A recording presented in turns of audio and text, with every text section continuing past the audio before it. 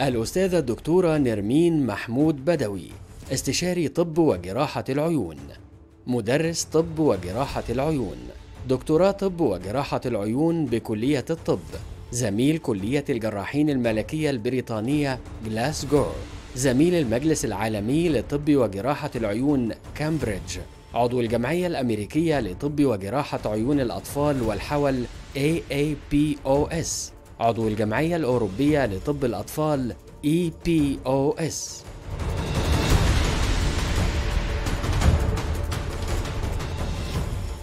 أهلا بيكم النهارده يوم عن الحول شديد الأهمية.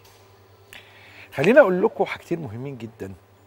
هكلمكم عن ليوناردو دافنشي وهكلمكم عن الأولاد الأطفال. نبدأ بالأطفال الأول. التابلت خطير جدا يا جماعة الأطفال. اتنبه اتنبهوا جدا إنه يعني لو أنت المفروض هتجيب لابنك تابلت أنا بعتقد إن في دراسات أنا ذاكرتها كويس جدا وقريت عنها كتير أكتر من دراسة بتقول إن التابلت في الأطفال بعد سن 8 سنين وفي ناس بتقول بعد سن 12 سنة. يعني تخيلوا إن الطفل المفروض أو الشخص يفضل لغاية سن 12 سنة معهوش تابلت ويبدأ بعد كده. ليها أسباب كتيرة جدا سيكولوجية نفسية الكلام بيفرق. وهنلاحظ إن الأجيال الجديدة ما بتعرفش تتكلم كويس. أنا كنت في حاجة في قريب يعني لاحظت إن الشباب اللي هم 24 سنة 25 سنة كتير منهم ما بيعرفش يتكلم بشكل جيد.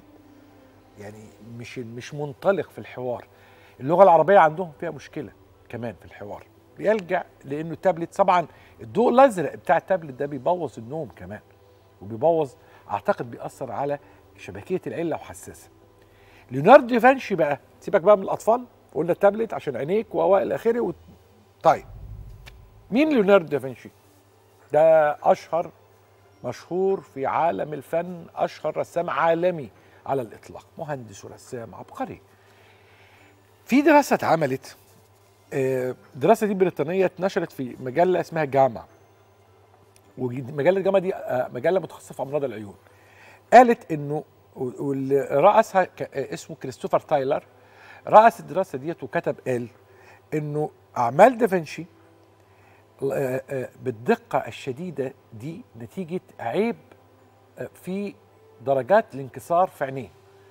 وقال إنه التباعد بين عينيه وعين وقال إنه عين دافنشي اليسرى هي اللي بتبدي انحرافا.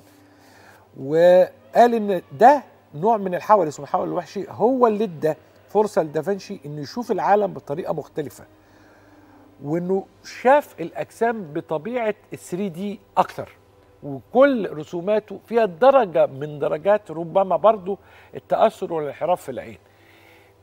ده شيء ما يخلينيش أقول يعني نخلي الولاد عندهم حول لكن ده يعني حاجة لفتت انتباهي جدا.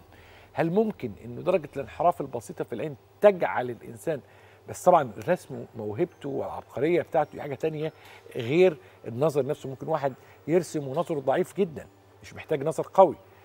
بس حتة أو دراسة تستحق يعني النظر والفكر. لكن الحول كعملية والاستعدادات للتعامل معاه كقضية علمية مهمة جدا هذا هو محور حوارنا النهاردة مع قيمة علمية متميزة واسم كبير في عالم العيون تسعدني جدا بحوارها العلمي والتقني الرائع للغاية وبستعد دايما لسماع صفة أكاديمية في هذا الشرح التفصيلي بتسعدني وبترضي نهمي العلمي. ضيفتي العزيزة الأستاذ الدكتور نرمين البدوي استشاري طب وجراحات العيون وأستاذ مساعد طب وجراحة العيون بكلية الطب. صاحب الدكتوراه طب وجراحات العيون بكلية الطب زميل كلية الجراحين الملكية البريطانية جلاسكو زميل المجلس العالمي للطب وجراحة العيون. كامبريدج وعضو الجمعيه الأمريكية لطب وجراحات عيون الأطفال والحول وعضو الجمعيه الأوروبية لطب الأطفال. ضيفتي العزيزة أهلا بيك يا دكتور أهلا بيك يا دكتور ايمن خلينا نبدأ بسؤال عام الأول حول حالة الحول هذه الحالة المهمة جدا. ما قيمة الاستعدادات فيما يتعلق بحالة حول هو هنتكلم على الحول كجراحة زي أي جراحة.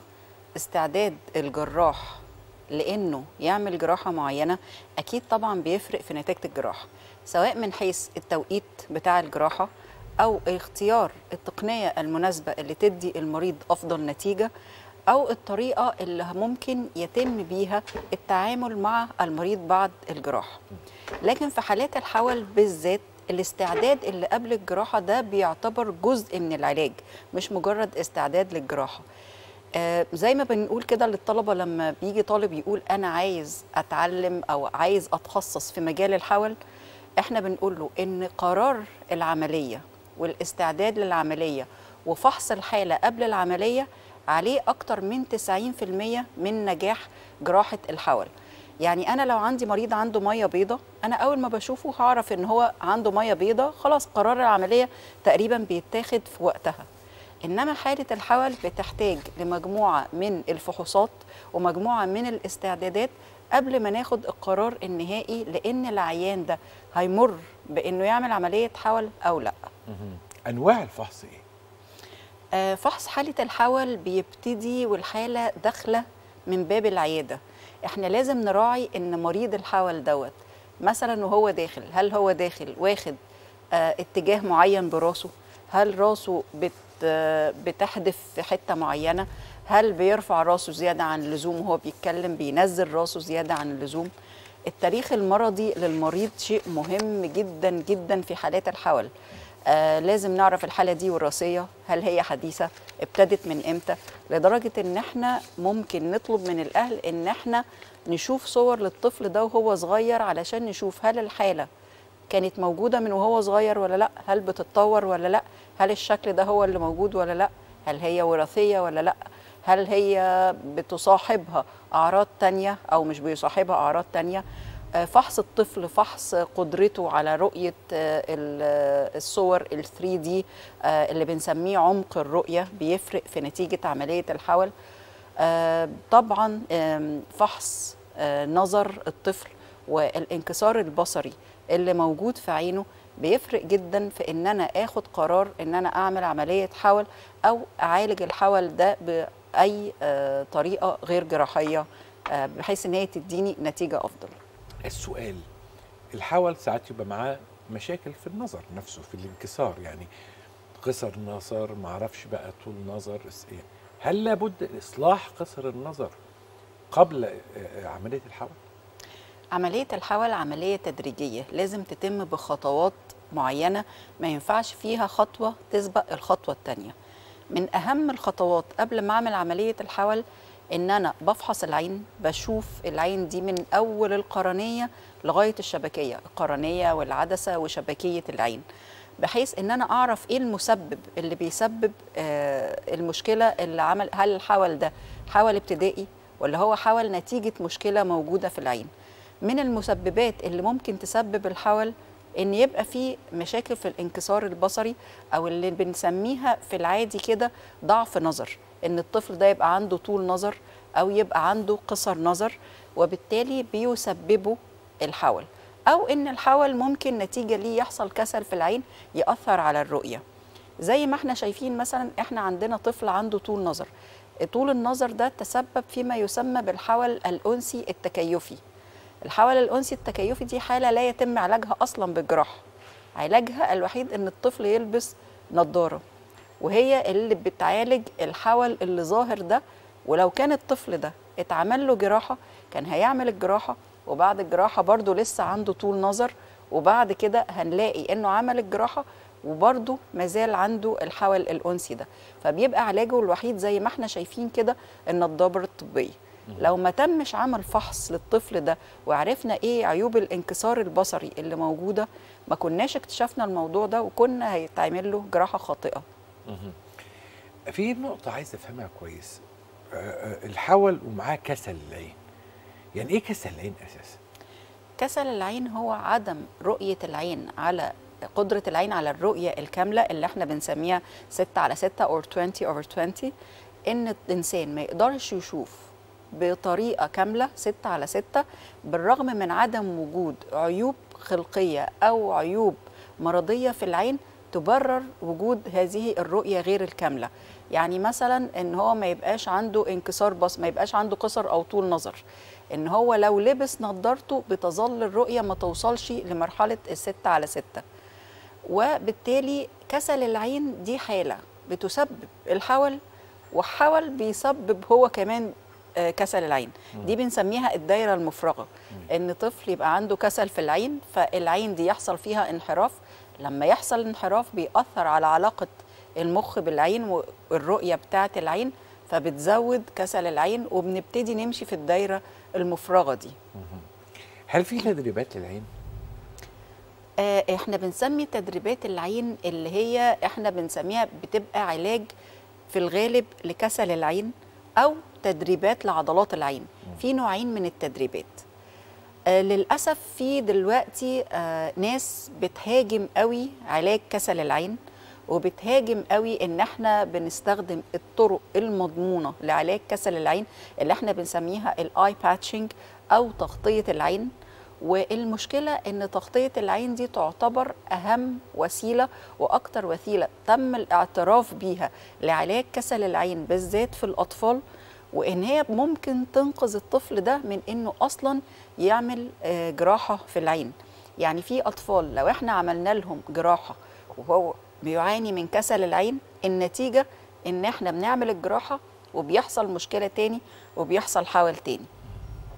وبالتالي إن تغطية العين دي بتبقى هي أكثر طريقة تم آه، الاعتراف بيها عالميا في أحدث الأبحاث لعلاج كسل العين وبالرغم من إن في آه، دلوقتي وسائل تكنولوجية كتيرة تم استخدامها لعلاج كسل العين آه، باستخدام ألعاب الفيديو باستخدام الألعاب الملونة باستخدام المحفزات البصرية إلا بالرغم من كده بيظل تغطية العين هي أكثر وسيلة فعالة في علاج كسل العين بالرغم إن في ناس دلوقتي بتحاول تهاجم ده لكن ما أعتقدش إن هم مطلعين بما يكفي على أحدث الأبحاث اللي قالت إن كسل العين ده أهم وسيلة اللي ممكن تنقذ العين دي فعلا من الفقد إن إحنا نعمل لها التغطية دي بطريقة آمنة وبطريقة علمية بحيث إن إحنا ما نسببش ضرر للعين نتيجة التغطية دي. وبيستغلوا يعني مشاعر الأهل ويبدأوا يقولوا لا أنت تغطي العين والواد هيبقى بعمل زي القرصان وبتاع والكلام ده مش منطقي ولا علمي خالص يعني. بالعكس إن تغطية العين هي فعلا الستاندر الأساسي لعلاج كسل العين. أكيد طبعا آه. أكيد طبعا. مش أي أسلوب آه، ابتداعي ملوش واقع علمي مثلا باستخدام ليزر وبتاع ما ينفعش عمل ليزر للأطفال في السن الصغير. نهائي آه. نهائي. زي ما قلنا كل مرة وبنأكد على الموضوع ده تاني الليزر في الأطفال تحت سن 18 سنة بدون مبرر علمي يعتبر جريمة في حق الطفل ده. للأسف الناس بتستغل إن الأهل اولا بتبقى عايزة تعمل لابنها أحسن حاجة. بت- بتتمنى إن هي تخلص من المشكلة بطريقة نهائية وبأسرع وقت ممكن. ساعات ما بيبقاش عندها الصبر إن هي تعمل التدريبات الكافية أو تعمل تغطيه للعين وفي ناس بتحاول توهم إن الليزر هيحل المشكلة. الطفل ده نظره بيتغير عينه بتكبر الانكسار البصري بتاعه بيتغير من هنا للشهر الجاي للسنة الجاية. لو حتى اتعمل له ليزك دلوقتي بعد شوية هنلاقي نظره اتغير وهيحتاج إن هو يلبس النضارة تاني. إحنا ما حليناش المشكلة. بالإضافة إن إحنا بنتدخل في النسيج بتاع العين نفسه وبنأثر عليه وهو لسه في مرحلة النمو والتكون. السؤال ال- ال- المهم إنه التوقيت لو إنسان قعد فترة ما صلحش عينه وكبر يمكن أجراء عملية؟ زي ما قلت في أي وقت. الحول بالعكس في الكبار بيدي نتيجة satisfying زي ما بنقول أو نتيجة مرضية جدا لأن هو الهدف منه بي- بيبقى بالأساس إصلاح شكل العين. وبيبقى قياس زاوية الحول أسهل كتير بتبقى زاوية الحول ثبتت خلاص ما بتبقاش هتتغير بحيث إن أنا ما مدش إيدي في حالة وأنا قلقانة هي لسه هتتغير هي ممكن يبقى عنده كسل لأ لازم أصلحه. في مشكلة في النظر لازم أصلحها. في الكبار الزاوية بتبقى أكثر ثباتا والنتيجة بتبقى واضحة. فبالتالي بالعكس هو كل ما آه، البني آدم آه، بيكبر ومحتاج يعمل عملية حول بيعملها. لكن إحنا بننصح ان هي تتعمل بدري للحفاظ على وظيفة العين بالاضافة للحفاظ على شكل العين. آه، الناس دايما بتسأل ممكن عملية الحول تسيب أثر في العين هيبان بعد كده؟ هو عملية الحي... آه، آه، الحول عامة من أكثر العمليات امنا في عمليات العيون. لسبب بسيط أنا لما بيجي لي مريض دايما بيسأل السؤال ده هي العملية هتسيب أثر؟ طب هي هتأثر على نظري؟ آه الحقيقة إن عملية الحول لا بنشتغلها على العين من بره يعني مش بنشتغلها على الجفن مثلا من بره بحيث إن هي تسيب شكل جرح أو شكل مشكلة. زي ما إحنا شايفين إنه دي آه طفلة وكان عندها حول ودي نتيجة العملية بعد الحول. إحنا بنشتغل على الجزء اللي ما بين آه الجلد بتاع العين وما بين العين نفسها. إحنا ما بنشتغلش على العين ما بنأثرش على النظر ما بنأثرش على الرؤية ما بنأثرش حتى على العين نفسها. إحنا بنشتغل على العضلات اللي حوالين العين. حتى في مرضى بيجوا بعد العملية يقول لي لا بس أنا بقيت أشوف أحسن بال أنا نظري اتحسن بالعملية. أقول له لا برضو مش إحنا السبب إحنا ما بنأثرش على النظر بعد عملية الحول هي ممكن تأثر على مجال الرؤية وتحسنه لكن يعني لا بتأثر على الانكسار البصري ولا هي بتسيب الأثر الكبير خصوصا إن إحنا دلوقتي ما بنشتغلش عمليات الحول زي زمان. يعني زمان كنا ممكن بنعمل جرح كبير بنفتح على العضلة كلها علشان نبقى نقدر إن إحنا نشوفها.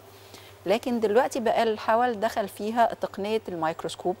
بقينا بنفتح فتحة لا تتعدى ال 2 مللي. بندخل بالميكروسكوب للعضلة نشتغل وبنحرك العضلة سواء آه للأمام أو للخلف. وبعد ما بنخلص بنخرج وبنقفل الفتحة ال 2 مللي دي. بتبقى بغرزة واحدة والغرزة دي هي بتتحلل لوحديها حتى ما بنجيبش المريض علشان خاطر نفكها والموضوع بينتهي في أقل من تلت ساعة. نورتيني وشرفتيني وكالعادة أبدعتي. شكرا شكرا جزيلا ضيفتي العزيزة الاسم المتميز القدير في هذا المجال الاستاذ الدكتور نرمين البدوي استشاري الطب وجراحة العيون وصاحبة دكتوراه طب وجراحات العيون بكلية الطب وأستاذ مساعد طب وجراحات العيون زميل كلية الجراحين الملكية البريطانيه في جالاكسي وزميل مجلس إعلامي طب وجراحة العيون كامبريدج كانت ضيفتي في واحدة من أرقى حلقاتنا في الناس الحلوة. يبقى الحول مشكلة اجتماعية في منتهى الأهمية ومنتهى أيضا القسوة على الأطفال والكبار. ينبغي أن ننظر لها بعين الرحمة والشفقة والإحساس بالمشاركة والمسؤولية. وحذاري أن يتم التنمر بطفل يعاني من مشكلة الحول حذاري ثم حذاري لأن دي أدنى درجات التربية والإساءة. خليكم دايما مع الناس الحلوة.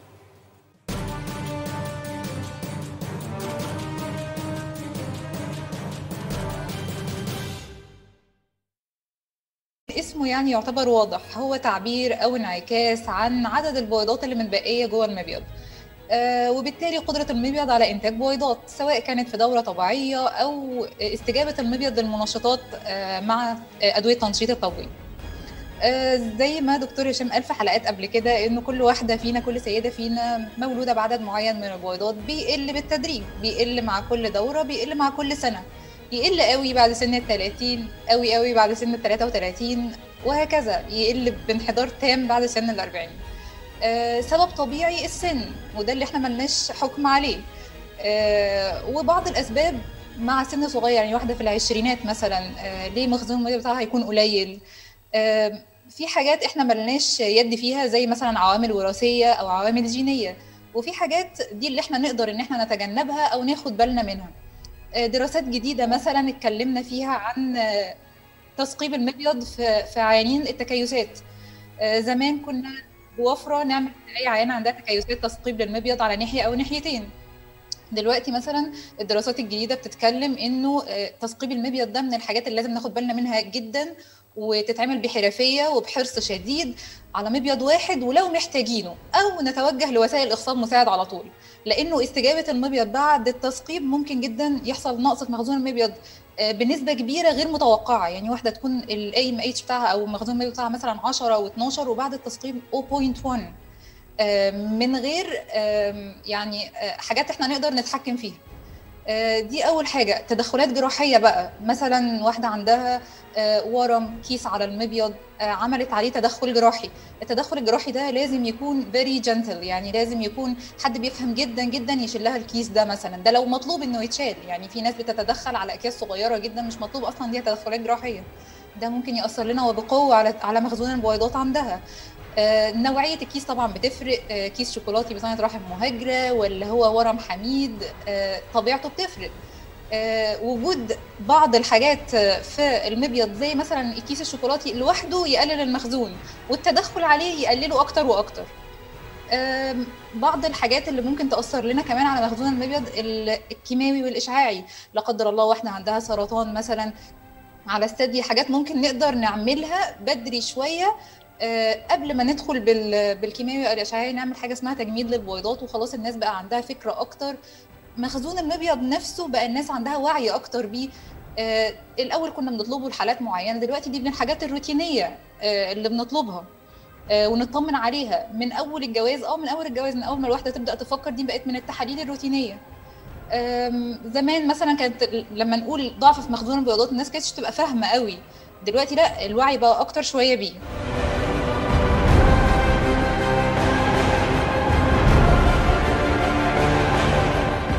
عامل مؤثر مهم جدا جدا جدا على مخزون المبيض ومحطات هناك أربع محطات أساسية في عمر أي سيدة تؤثر على قدرتها الإنجابية وتؤثر على مخزون المبيض بتاعها.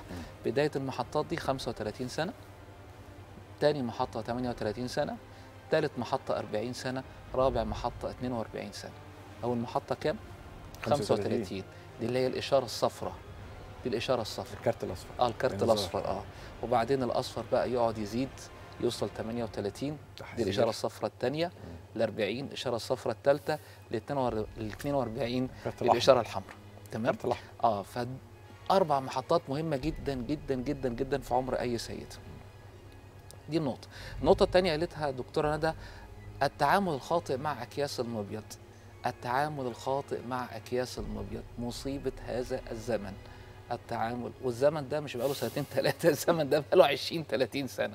اللي هو بحب- إيه؟ بحبك لما تعمل كده. أيوه عارف لما. بتعمل كده بحس أيوة. بإيه؟ آه. نادرا ما بتعملها أيوة. أنت بتغاظ. آه طبعا. بتغاظ جدا. طبعا. طبعا. ليه بقى بس خليك بقى إيه أيوه خليك حاد شوية قول لي آه. متغاظ من إيه متغاظ. من إيه؟ آه. متغاظ لما يحصل موقف مثلا اسمه كيس وظيفي، يعني كيس وظيفي يعني بويضه كبرت شوية زيادة عن اللزوم ما خرجتش من المبيض فضلت متحوشة في المبيض بقت عاملة كيس وظيفي. مم. لو إحنا استنينا على الكيس الوظيفي ده لحد الدورة اللي بعدها هيختفي لوحده، وإذا ما اختفاش شريط حبوب منع الحمل من أبو 3 جنيه حتى اللي بيتباع في الصيدلية هيختفي لوحده تمام؟ ليه حالة زي كده تخش العمليات ويتفتح بطنها ويتشال نص المبيض بحجة إن أنت عندك كيس على المبيض. ليه؟ حرام حرام حرام. إحنا أفقدنا الست دي نص ثروتها من مش فلوس بقى من البويضات. بكلمة واحدة بكلمة. وصف لي بكلمة واحدة وصف لي التصرف ده. إجرام. إجرام. إجرام ده رقم واحد. رقم اتنين الكيس الدموي. نفس الكلام اللي قلته كيس دموي ده بويضة كبرت زيادة عن اللزوم ما خرجتش من المبيض عملت كيس بس الكيس اتحوش فيه دم بقى كيس دموي. برضه نفس الكلام في الدورة اللي بعدها هيخف هينتهي. ولو ما انتهاش شريط منع الحمل ب 3 جنيه من أي صيدلية هيخلص. برضه بتخش الست دي المسكينة اوضه العمليات تفتح بطنها ويتفتح بطنها ويتشال نص المبيض على هذا الكيس. أوضة العمليات تتفرج على فيلم مثلا سينما. بتفتح بطنها. يعني تمام. فالاكياس الوظيفيه دي بتروح لوحدها تمام؟ ده رقم واحد. رقم اتنين كيس شوكولاتي زي ما قالت الدكتورة ندى كيس شوكولاتي زي زي ما قالت الدكتورة ندى إحنا ما بقيناش آه، بنلهث ورا إن إحنا كيس شوكولاتي بطانة رحم مهاجرة دخلها عمليات واعمل لها حتى لو منظار إلا إلا لو كان الكيس حجمه كبير وفي ناحية واحدة من المبيض فاكر إحنا قلنا قبل كده وحضرتك حفظتها مني آه, آه. آه. لما في كمان في حاجة أنت قلت لي الكوليكرم بتاع ال Cochrane review ال Cochrane review آه آه اتكلم- أقر حاجات كتيرة. بالظبط اتكلم عن لو أنا دخلت حالة العمليات عشان عندها كيسين شوكولاتيين في المبيض اليمين كيس وفي المبيض الشمال كيس وشلتهم حتى عن طريق المنظار in the best hands في أحسن أحسن إيد وأحسن مناظير وأحسن كل حاجة. مخزون المبيض هيقل بنسبة 58% يعني أكتر من النص أكتر من النص. فعشان كده مفيش أي لهث وجري ورا إن إحنا ندخل الحالة عندها كيسين شوكولاتيين في المبيض اليمين والشمال إنها تخش عمليات. خالص بالعكس ده إحنا نحافظ على المبيض. أو الاستسهال بقى كيس دهني. dermoid cyst. dermoid cyst. كيس دهني. آه. ده يتشال فيه المبيض؟ لا. يتشال فيه المبيض؟ حرام. ده يتشال فيه الكيس ونحافظ على المبيض بالمنظار أو جراحة مش مشكلة. فأنا أقصد أقول إن في إجراءات جراحية كتيرة بتتعمل. للأسف للأسف مش في محلها. بتؤثر على مخزون المبيض. آخرهم اللي قالته دكتورة ندى تثقيب المبيض.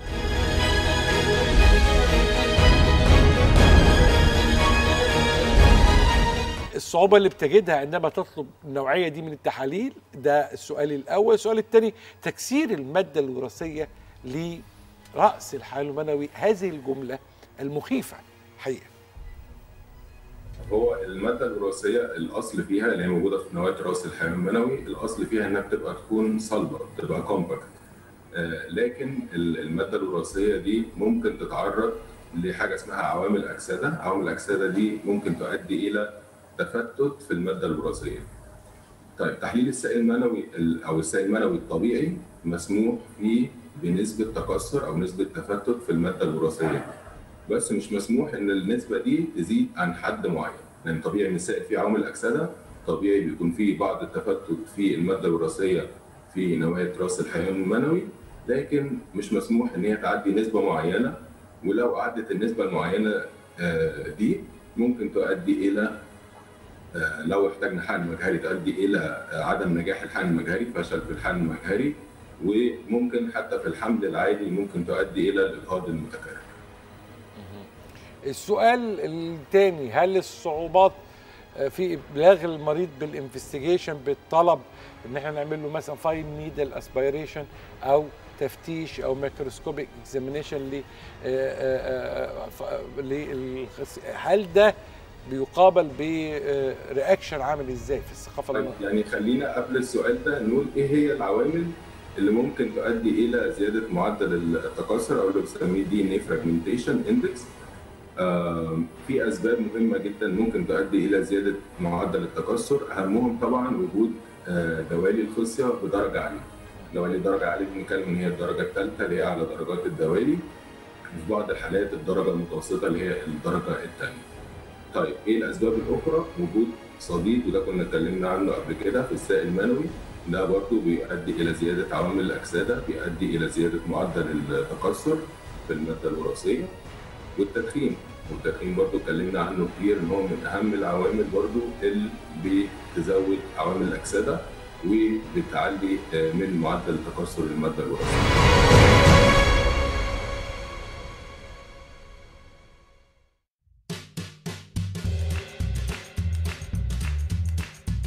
التفاصيل دي عندنا هو بينسى طب إيه بقى؟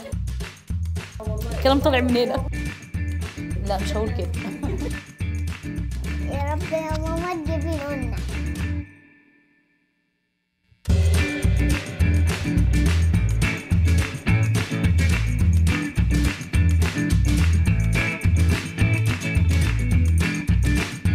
لما جينا اولا إحنا قعدنا سنتين بدون خلفة فحسينا إن في مشكلة. فجينا مركز الرياض وقعدنا مع مع الدكاترة وقالوا لنا الأول نعمل تحاليل عشان نعرف إيه المشكلة اللي عندنا. فعملنا تحاليل الحمد لله وعرفنا المشكلة تكيسات ضعف شوية في الحيوانات المنوية في الكفاءة بتاعتها وكده. إحنا الحمد لله ربنا رزقنا بمريم هنا في مركز الرياض وإن شاء الله بنعمل عملية تانية عشان نجيب بيبي إن شاء الله جديد عشان يبقى مع مريم يعني في البيت إن شاء الله. إحنا لما جينا طبعا أول تعامل مع reception أول حاجة طبعا الحمد لله بصراحة متعاونين جدا. آه، أي سؤال إحنا بنقوله عليه بي- بيجاوب عليه بسرعة. متعاونين قوي. فالحمد لله من أول reception لحد اخر دكتور الحمد لله كويسين جدا معانا يعني. بعد ما عملنا التحاليل رحنا في حاجة اسمها لجنة طبية. كل واحد خدنا على حدة كده عرفنا المشكلة فين وإيه نوع التحاليل المطلوبة والخطوات اللي إحنا نمشي عليها بعد قبل العملية لحد العملية.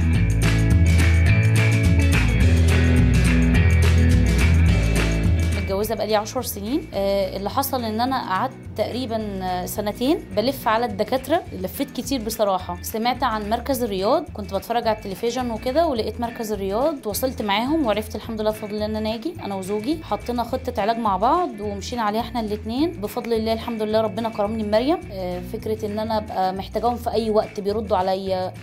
بسأل أي سؤال بلاقي ليه إجابة. يعني مفيش حد مثلا مش متعاون مفيش حد يقول لي لا الحاجة دي ما تخصناش.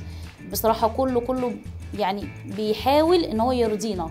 يعني أنا بحس إن أول ما بدخل لحد ما بخرج في رضا في رضا عام في الناس دي كلها تحت طعنة من الآخر يعني. بالنسبة بقى للعمليات هم اولا منظمين جدا ثانيا في privacy وده كان يهمني جدا حتة إن أنا أحس بأمان وأحس بخصوصية. دي أهم حاجة عندي. أه بحس إن هم friendly جدا يعني وأنا قاعدة معاهم في هزار في ضحك. ما بحسش بصراحة أنا داخله عملية. أنا بحس إن إحنا أقعد مع أصحابي شوية وخارجة. بيمسكوا الحالة من الأول للآخر. بيعرفوا عني كل حاجة. من أول ما اتولدت لحد وقتنا هذا. وما شاء الله عليهم وعلى الاحترافية اللي هم فيها. المركز ده أنا جاياه وهو يعني إحنا لسه كنا بنبدأ. فأنا بالنسبة لي ده مش مش مركز علاجي ولا إن أنا جاية للدكتور زي ما أنا قلت لأ. إحنا علاقتنا إن إحنا أصحاب إخوات قرايب حبايب أنا بحس كده. كنت دايما لما بشوف حالات بتصور بقول طب وأنا؟ أنا عايزة أصور أنا عايزة أبقى زيهم. عايزة أدي للناس حافز. أنا في ناس كتير قرايبي وأصحابي قلقانين من فكرة إن هم يقربوا من الحكاية دي من خطة الحقن المجهري وإن هم يحطوا نفسهم تحت الموضوع ده. أنا بصراحة شجعت اتنين من اصحابي وهم دلوقتي يعني ربنا يكرمهم يا رب. لما عرفت إن أنا أم دي كانت لحظة أنا ما كنتش مصدقاها. لدرجة إن أنا الدكتور وهو بيعمل لي السونار أنا بقول له اتأكد إن هو ده حمل يعني ده حمل فعلا. فلحظة يا رب يا رب كل مشتاق يجربها يا رب. كل واحدة ما جربتش الإحساس ده وتجربه عن قريب. بس والله نصيحة تعالوا المركز هتنبسطوا جدا جدا جدا.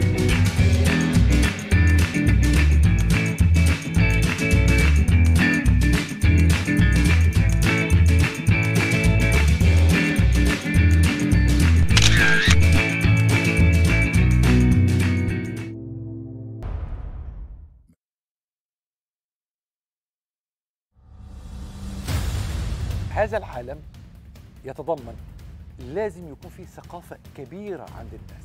لأن الثقافة هي التي تضمن أن الناس دي تتحرك في التوقيت المناسب وتذهب إلى المتخصص المناسب. كان يعتقد في القدم أن الشفة الأرنبية الأم الحامل لو شافت أرنب عشان كده كان المسمى وهي حامل تبقى الولد لما يجي يقول لك ده شفة أرنبية.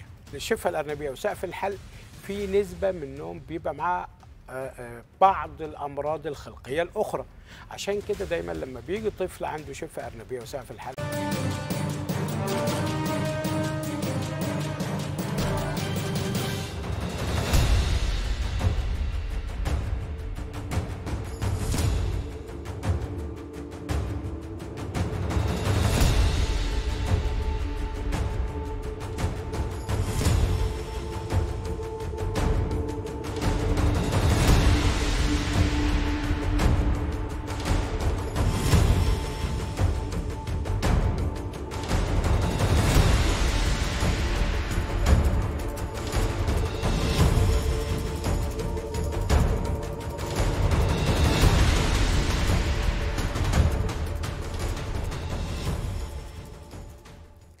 بكم النهارده يوم مهم جدا جدا في عالم جراحات الأطفال.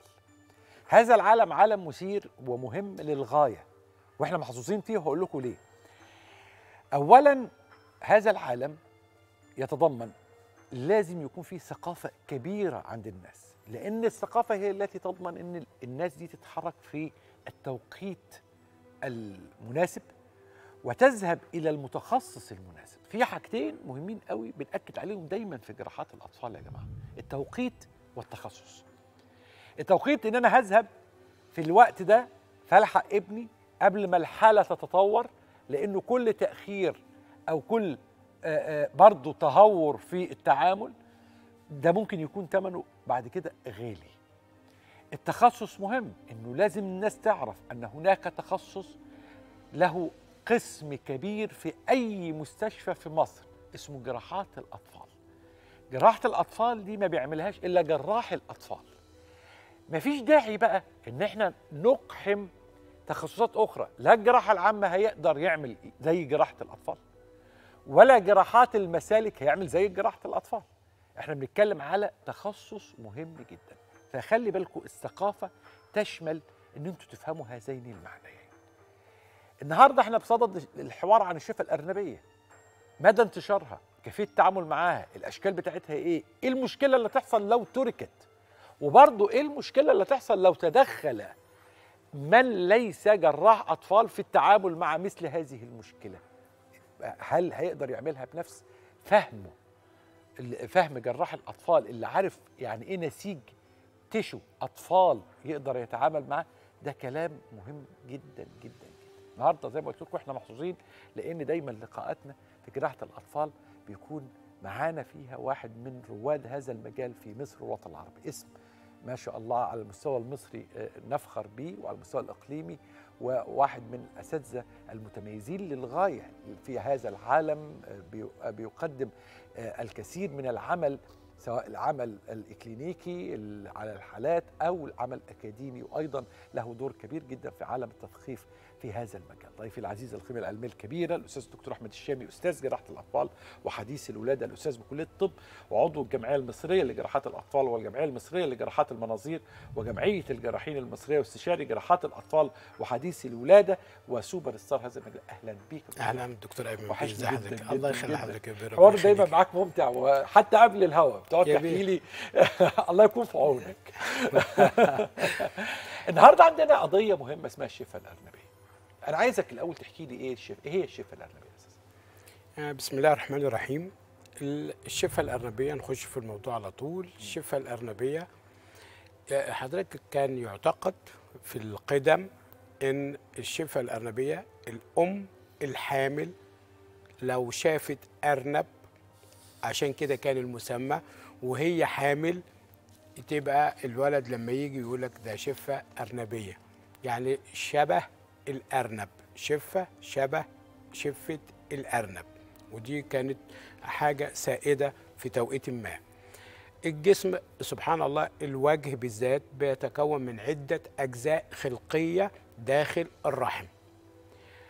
Failure of union.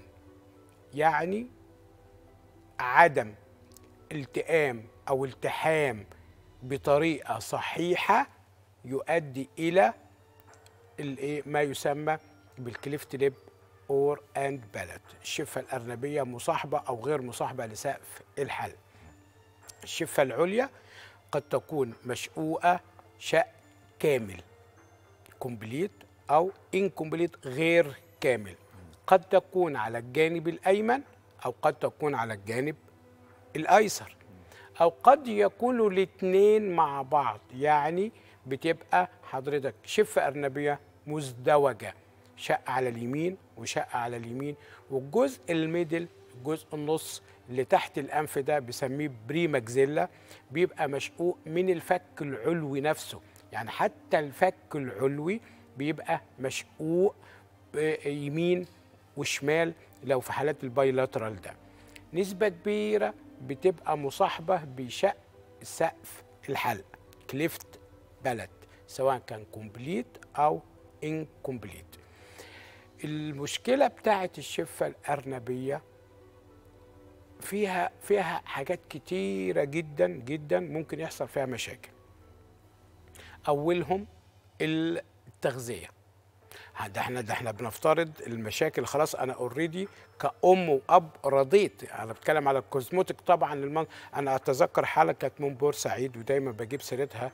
حضرتك ما الأم رفضت تستلم البنت بالمنظر ده. قالت مش هاخدها. ولدت في المستشفى؟ لا أنا مش هاخدها. مش, مش عايزاها. دي مش بنتي. مش عايزاها. مش هاخدها بالمنظر ده. أروح بيها إزاي؟ المجتمع. هتغذيها إزاي؟ جالها. هتتعامل معاها إزاي؟ بالظبط. جالها صدمة. آه. وهنا الأم جالها شك بالظبط. آه. آه. وهنا دايما ده إحنا بنأكد حضرتك وحضرتك عارف وزرت بلاد كتيرة بره حضرتك ده بيتشخص prenatal قبل الحمل قبل الولادة sorry. وبيبقى الأم عارفة. وبتقعد مع دكتور نفسي يبدأ يفهمها الوضع بالظبط واحد اتنين تلاتة وهتولدي هيبقى شكل وأول يوم هنعمل إيه؟ وهنغذيه إزاي؟ وتاني يوم هنعمل إيه؟ وتاني شهر هنعمل إيه؟ وعلى وبعد 12 سنة من الولادة هنعمل له إيه؟ لأن بتبقى حاجة مالتي ستيج يعني كذا عملية على مراحل من العمر. فزي ما معانا في الصور الشفة الأرنبية ممكن تكون ناحية واحدة ناحيتين كاملة غير كاملة مزدوجة معاها شق في سقف الحلق أو لأ. عندنا آه، آه، التوقيت مهم جدا عشان تافويد الكومبليكيشن حضرتك الطفل يجي يشرب اولا مش هيعرف يرضع. أنا ما عنديش شفة عشان يعرف يرضع لا طبيعي ولا صناعي. هنخش في مشاكل الرضاعة بالقطارة بالمعلقة بالسرنجة ب special ببرونة ببرونة خاصة بخاصة بسقف الحلق والشفه والشفه الارنبيه لما يجي الطفل يرضع حضرتك اللبن بيحصل حاجة اسمها aspiration aspiration يعني يشرق. اللبن بدل ما يخش على المريء ويخش على المعدة بيخش على القصبة الهوائية. فيخش في حاجة اسمها aspiration pneumonia وتتطور لل lung abscess يعني يخش في التهاب رئوي قد تصل إلى خراج على الرئة. واخد بال حضرتك؟ فهنا وارد إن يحصل لنا complication كتير جدا.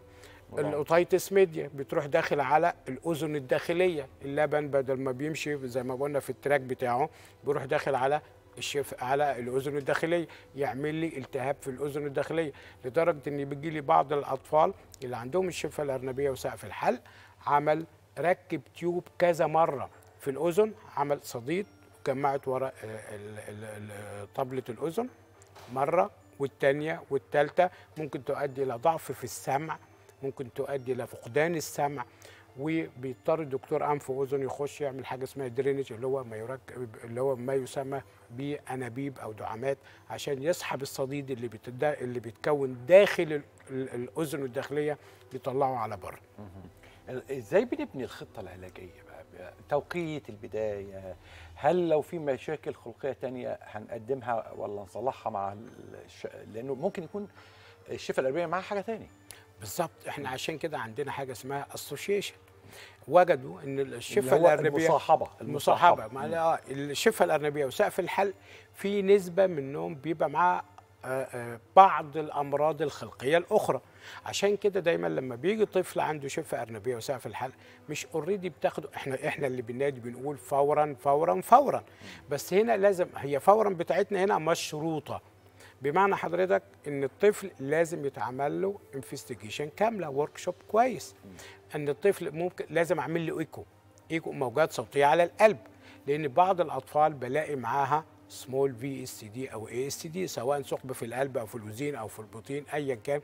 هي جراحيا أنا مش هتفرق معايا أنا كجراح بس دايما بنقول للأم إنها تفرق تخديريا عشان يبقى عارفين إن الطفل عنده ثقب في القلب سواء كان من النوع اللي هيروح لوحده مع الوقت شهر أو اتنين أو تلاتة هيقفل أو هيحتاج تدخل جراحي فيما بعد. طب نعمل الشفة الأول ولا نعمل القلب الأول؟ ده حضرتك بتبقى consultant أكتر من تخصص. ونشوف هو إيه المشكلة بالنسبة له أكبر ويبدأ إذا كنا هنعمل الشفه الأرنبية أو سقف الحلق ودكتور القلب هيستنى ويدينا ال permission إن إحنا ممكن نستنى 3 4 شهور عبال ما نعمل العمليات بتاعتنا. لا هيبقى في صعوبة في التخدير. نعمل عملية القلب المفتوح اولا أو نعمل عملية الثقب اولا سواء كان مفتوح أو بالقسطرة. وبعد كده نخش في ال- الجراحات التجميلية بتاعتنا بتاعت الشفة الأرنبية وسقف الحلق. طب إحنا بنتكلم على الطبيعي.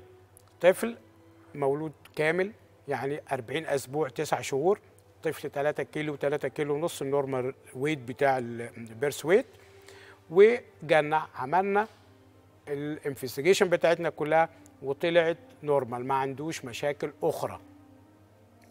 حضرتك نتدخل إمتى؟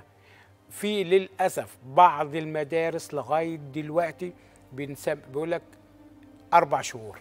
وست شهور وثمان شهور عبال ما يبدأ في ال cleft lip في الشفة الأرنبية. ساعات بيبقى ده صحيح في بعض الحالات بعض الحالات. إحنا عندنا لما خاصة لما بيبقى عندنا ال bilateral الجزء المزدوج وعندنا الجزء ال- اللي تحت الأنف ده اللي بنسميه premaxilla بتبقى protruded يعني خارج. لبرة بارز لبرة بشكل كبير جدا. حضرتك إحنا عندنا كنا آخر مؤتمر السنة اللي فاتت كان في حد من اليابان اخترعوا أو توصلوا إلى جهاز حضرتك آه، بال آه، عارف القمطة حاجة جهاز كده مسمار بنركبه على الجزء العلوي وكل يوم والتاني مسمار فكرته مسمار بصامولة حضرتك نلف الصامولة نشد على العظمة. نعمل approximation ونعمل. pressure آه. نضغط على العظماية دي تدخلها لجوه عشان دي عظمايه ما ينفعش تتكسر بسهولة. الجهاز ده ثمنه حوالي 70 ألف جنيه. فتخيل لما كل عيان يجي لك عاوز الجهاز ده الكلام ده كام واحد هيعمله في مصر؟ مكلف جدا.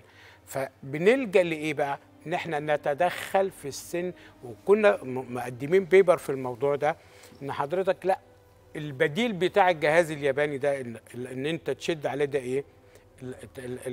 إحنا دايما ال- ال- الحاجة وليده الاختراع أو الاختراع وليد الحاجة. ما انت مش هتقف نحط ايدينا على خدنا ونستنى نشوف هم هيعملوا لنا إيه.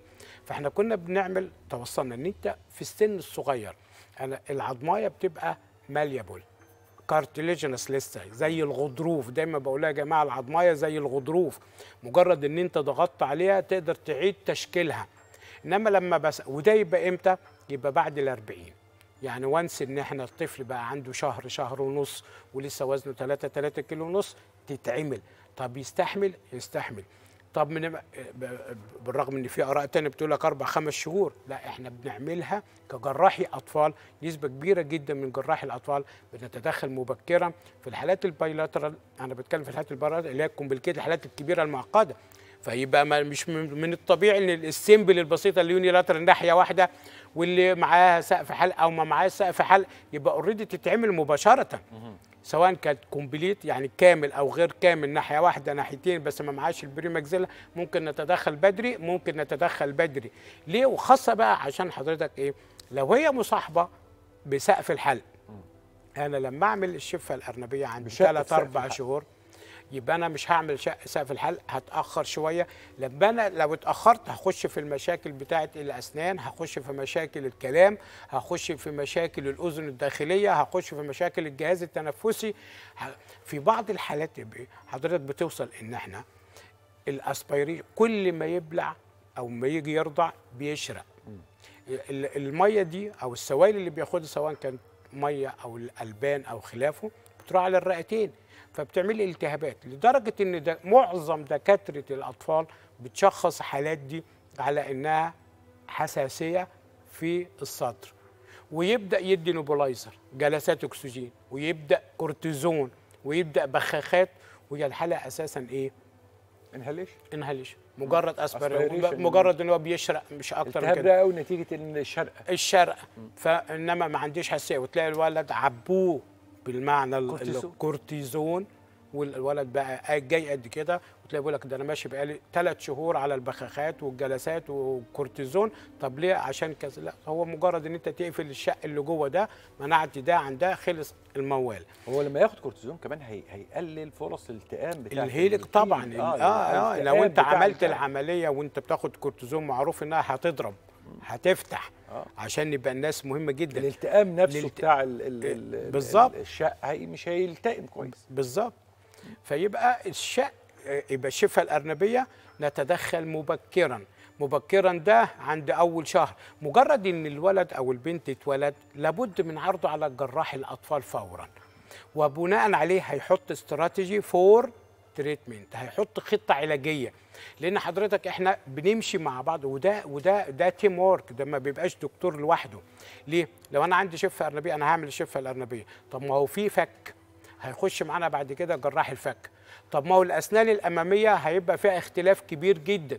لازم يخش معانا جراح فك وجراح أسنان سواء كانت هنشيل الأسنان وهيعمل امبلانتيشن هياخد عظمايه نزرع عظمايه الأول عشان بعد كده نعمل عليها الشفه عشان بعد كده نزرع فيها الأسنان. لو سقف حلق يبقى حضرتك نفس الكلام هيخش معايا دكتور تخاطب هيخش معايا كل مرحلة لو هي حضرتك النوع المكتمل أو الكامل بيبقى معايا ما فيش أنف أساسا تبقى الأنف مفتوحة تماما. كامل شق كامل فبيبقى مش و... الروف ده اللي هي ال- الفلور آسف ما بيبقاش موجود. ما بيبقاش موجود. الأرضية هنا مش موجود دي. واللي وراها. بالظبط. آه. فأنت بتعمل أنف من أول وجديد. فأنت بتظبط الأنف على حسب ومقدار الأنسجة الأنسجة اللي موجودة عندك إمتى والطفل 3 كيلو أو 4 كيلو تاني شهر بعد الولادة. طب حضرتك لما الط- الطفل بينمو النمو الطبيعي فالطفل بقى عنده سنة بقى عنده سنتين بقى عنده خمس سنين. نمو الغضروف اللي اتعمل عليه عمليات ما بيبقاش بنفس الشكل والمعدل الطبيعي للغضروف اللي ما اتعملش عليه حاجة. فممكن يحصل ديفورميتي تلاقي فيه الشكل مش حلو بالنسبة للأم. الأنف فيه بعض الديفوهات آه، مش مظبوطة. بنبدأ نشتغل على الأنف إمتى؟ عند مرحلة البلوغ. يبقى بن- بنحط الخطة العلاجية إن أنا أول شهر هعمل الشفة الأرنبية وهعمل هظبط الأنف بنفس القصة. طب بعدها ب ب ب ب لما الطفل يوصل ست شهور بعد الولادة هبدأ أعمل سقف الحلق الجزء الخلفي من سقف الحلق اللي هو النص الخلفي اللي هو لسان المزمار اللي هو soft palate لما يكمل 18 شهر يعني سنة ونص هنعمل ال hard palate أو الجزء العظمي أو الجزء الأمامي من سقف الحلق. طب لما الطفل يكمل ست سنين الأسنان اللبنية خلاص خلصت وقعت هيبدأ يسن... الأسنان المستديمة هتبدأ تطلع. يبقى في الحالة دي بعرضه على جراح الفك بعرضه على جراح الأسنان سواء هيعمل لي تقويم أو هيزرع ضرسي سنتين الأماميتين لغاية إيه إيه سبع سنين وثمان سنين وعشر سنين. بقول للأم إن إحنا ممكن نحتاج عملية تجميلية للأنف عند مرحلة البلوغ. فبنحط خطة علاجية. team work أكتر من دكتور بيشتغل في الحالة بداية من جراح الأطفال لجراح الفك لجراح الأسنان لجراح التجميل عشان تجميل الأنف عند مرحلة البلوغ عند 14 و15 سنة. كالعادة الحوار معاك ممتع مش عايزه يخلص بجد يعني. لكن الحلقة. القادمة حلقة مثيرة جدا. دايما حلقات الدكتور أحمد الشامي هي الحلقات اللي بنسميها ال top model for knowledge وفي نفس الوقت for excitement يعني على الأفضل في المعلومات و آه، آه، آه، من ناحية ال ال ال أنا ببقى قاعد كأني بتفرج على فيلم بوليسي بصراحة يعني. لأنه كمان بنشوف بهتم قوي برد فعل ال- الأهل. بشوفه. ودايما في حوار قبل الحلقة دكتور أحمد بيقعد يحكي لي على حوارات الأهل. عملوا إيه؟ ده جاي متأخرين. تشوف التأخر هنا عمل إيه؟ ده مش عارف إيه.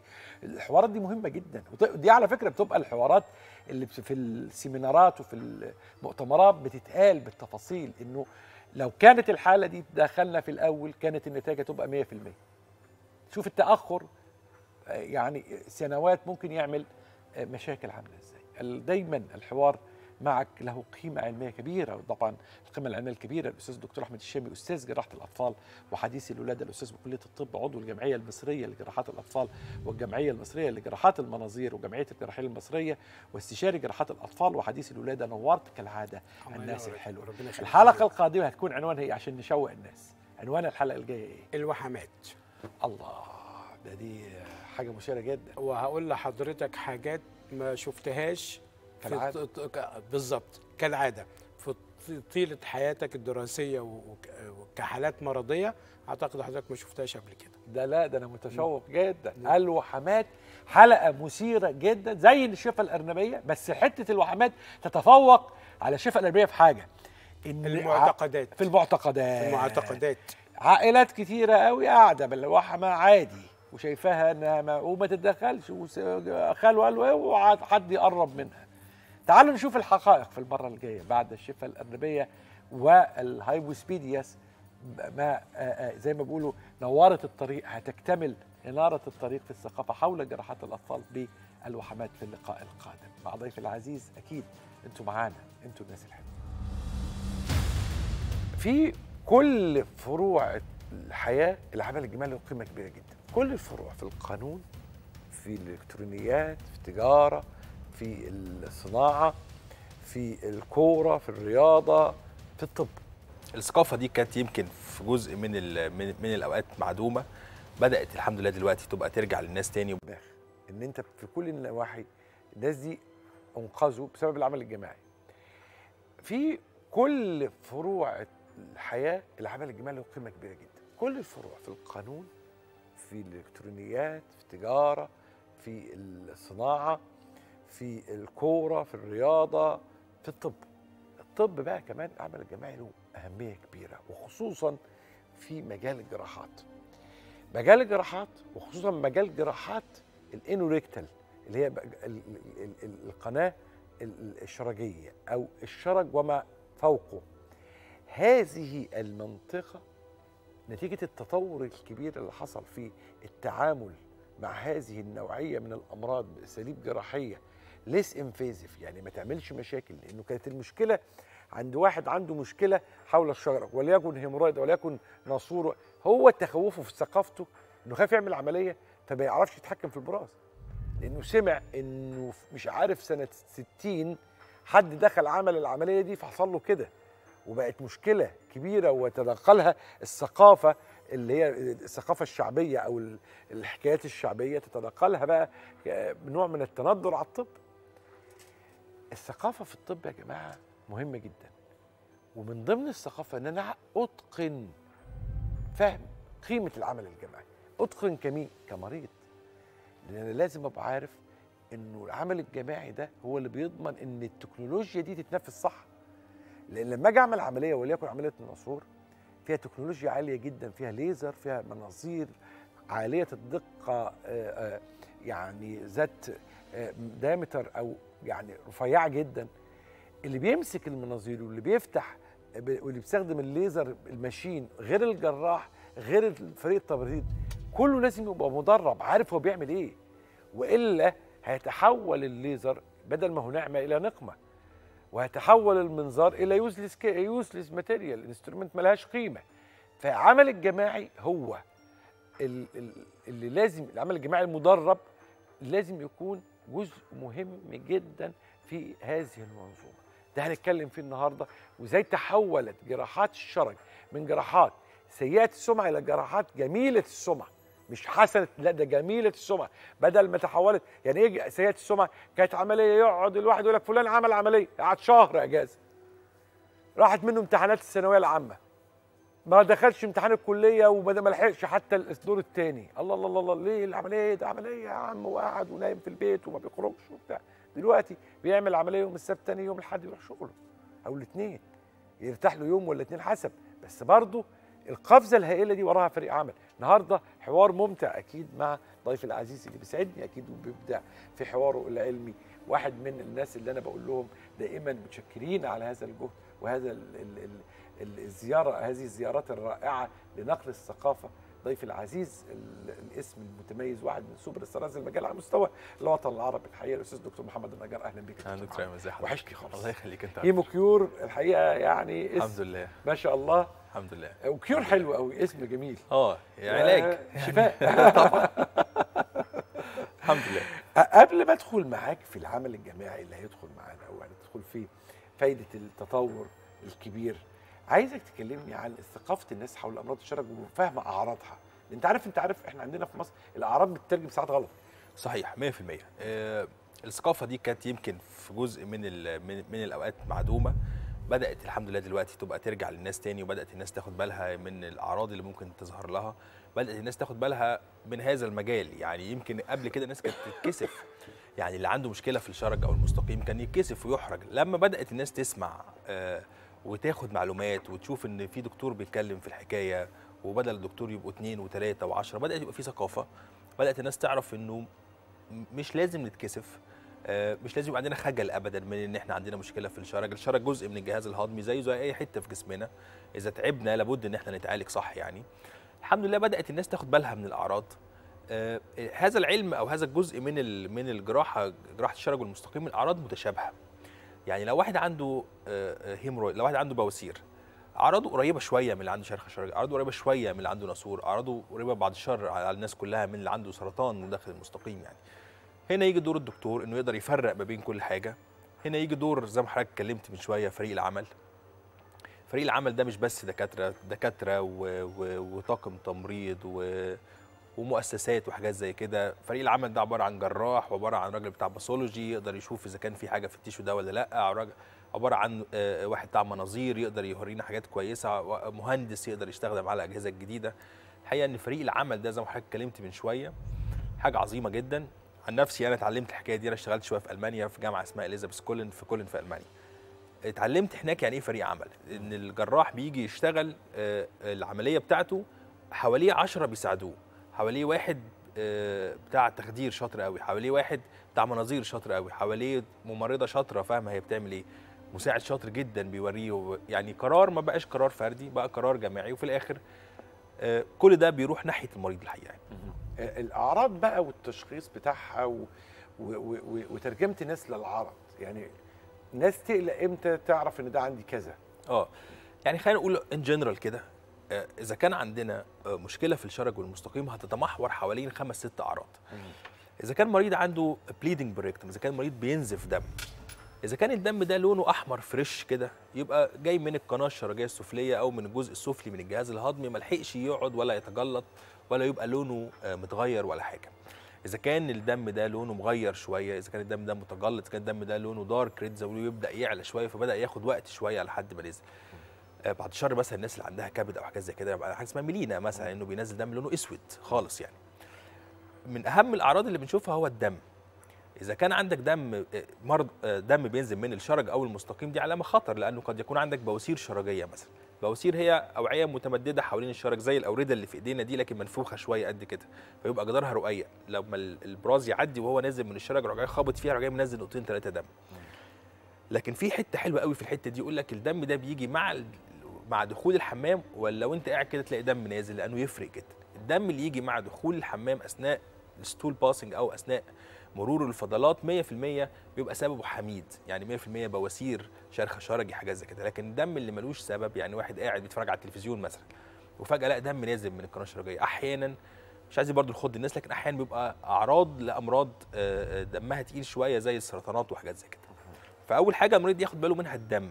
إذا كان بينزل دم من فتحة الشرج ده مش طبيعي ومش ده العادي أرجوك خلي الدكتور ياخد باله منك لأنه مش ده العادي. تاني حاجة الألم. الألم إذا كان الألم مع دخول الحمام يعني الواحد بيدخل حمام يجي له وجع شديد أو حاجة أغلب الظن يبقى عنده شرخ شرجي لأن البواسير مرض غير مؤلم. يعني لو واحد عنده بواسير عادية كده هل يتألم؟ لأ ما يتألمش. ويكتبوا في الكتب عليها asymptomatic يعني ملهاش أعراض. طب إمتى بقى يبقى عنده بواسير وعمال يتوجع؟ إذا حصل عليها بعض المضاعفات زي التجلط مثلا فيسموها thrombosed pile بواسير متجلطة. أو مثلا آه، بيبدأ درجتها تزيد من الدرجة الثانية للثالثه فبتبدأ خلاص حاجة تخرج بره فيبقى مخنوقة شوية فيبقى متوجعة. لكن البواسير ما بتوجعش توجع إذا حصل عليها بعض المضاعفات وده علامة آه، تستدعي إن إحنا الواحد ياخد باله أكتر. غير الألم آه، الإفرازات. إذا كان واحد عنده discharge ربنا يخلقنا الحتة دي dry يعني مش المفروض الواحد يبقى عنده بلل حوالين فتحة الشرج ما يحسش إن في إفرازات ما يحسش إن في مية ما يحسش إن في حاجات لونها أصفر ولا أخضر ولا كلام زي كده. إذا في discharge في حاجة مش مظبوطة. نروح بقى ونيجي في ال discharge ده نقول إنه قد يكون سببه ناسور شرجي وده الأشيع يعني. قد يكون سببه مش ناسور خالص حاجة اسمها proctitis. proctitis يعني التهاب داخل المستقيم والمريض ساعتها ينزل mucous discharge يعني وكأن حاجات لزجة كده أو حاجة. الأعراض متشابهة. اللي عنده بواسير ممكن يبقى عنده وجع وعنده دم وعنده إفرازات اللي عنده شرخ شرجي ممكن يبقى عنده وجع وعنده دم وعنده إفرازات اللي عنده ناسور نفس الكلام اللي عنده بعد الشر ورم خبيث داخل المستقيم ولا حاجة ممكن يبقى عنده نفس الكلام. مين يقدر يشخص؟ الدكتور وشطارة التكنولوجيا الجديدة.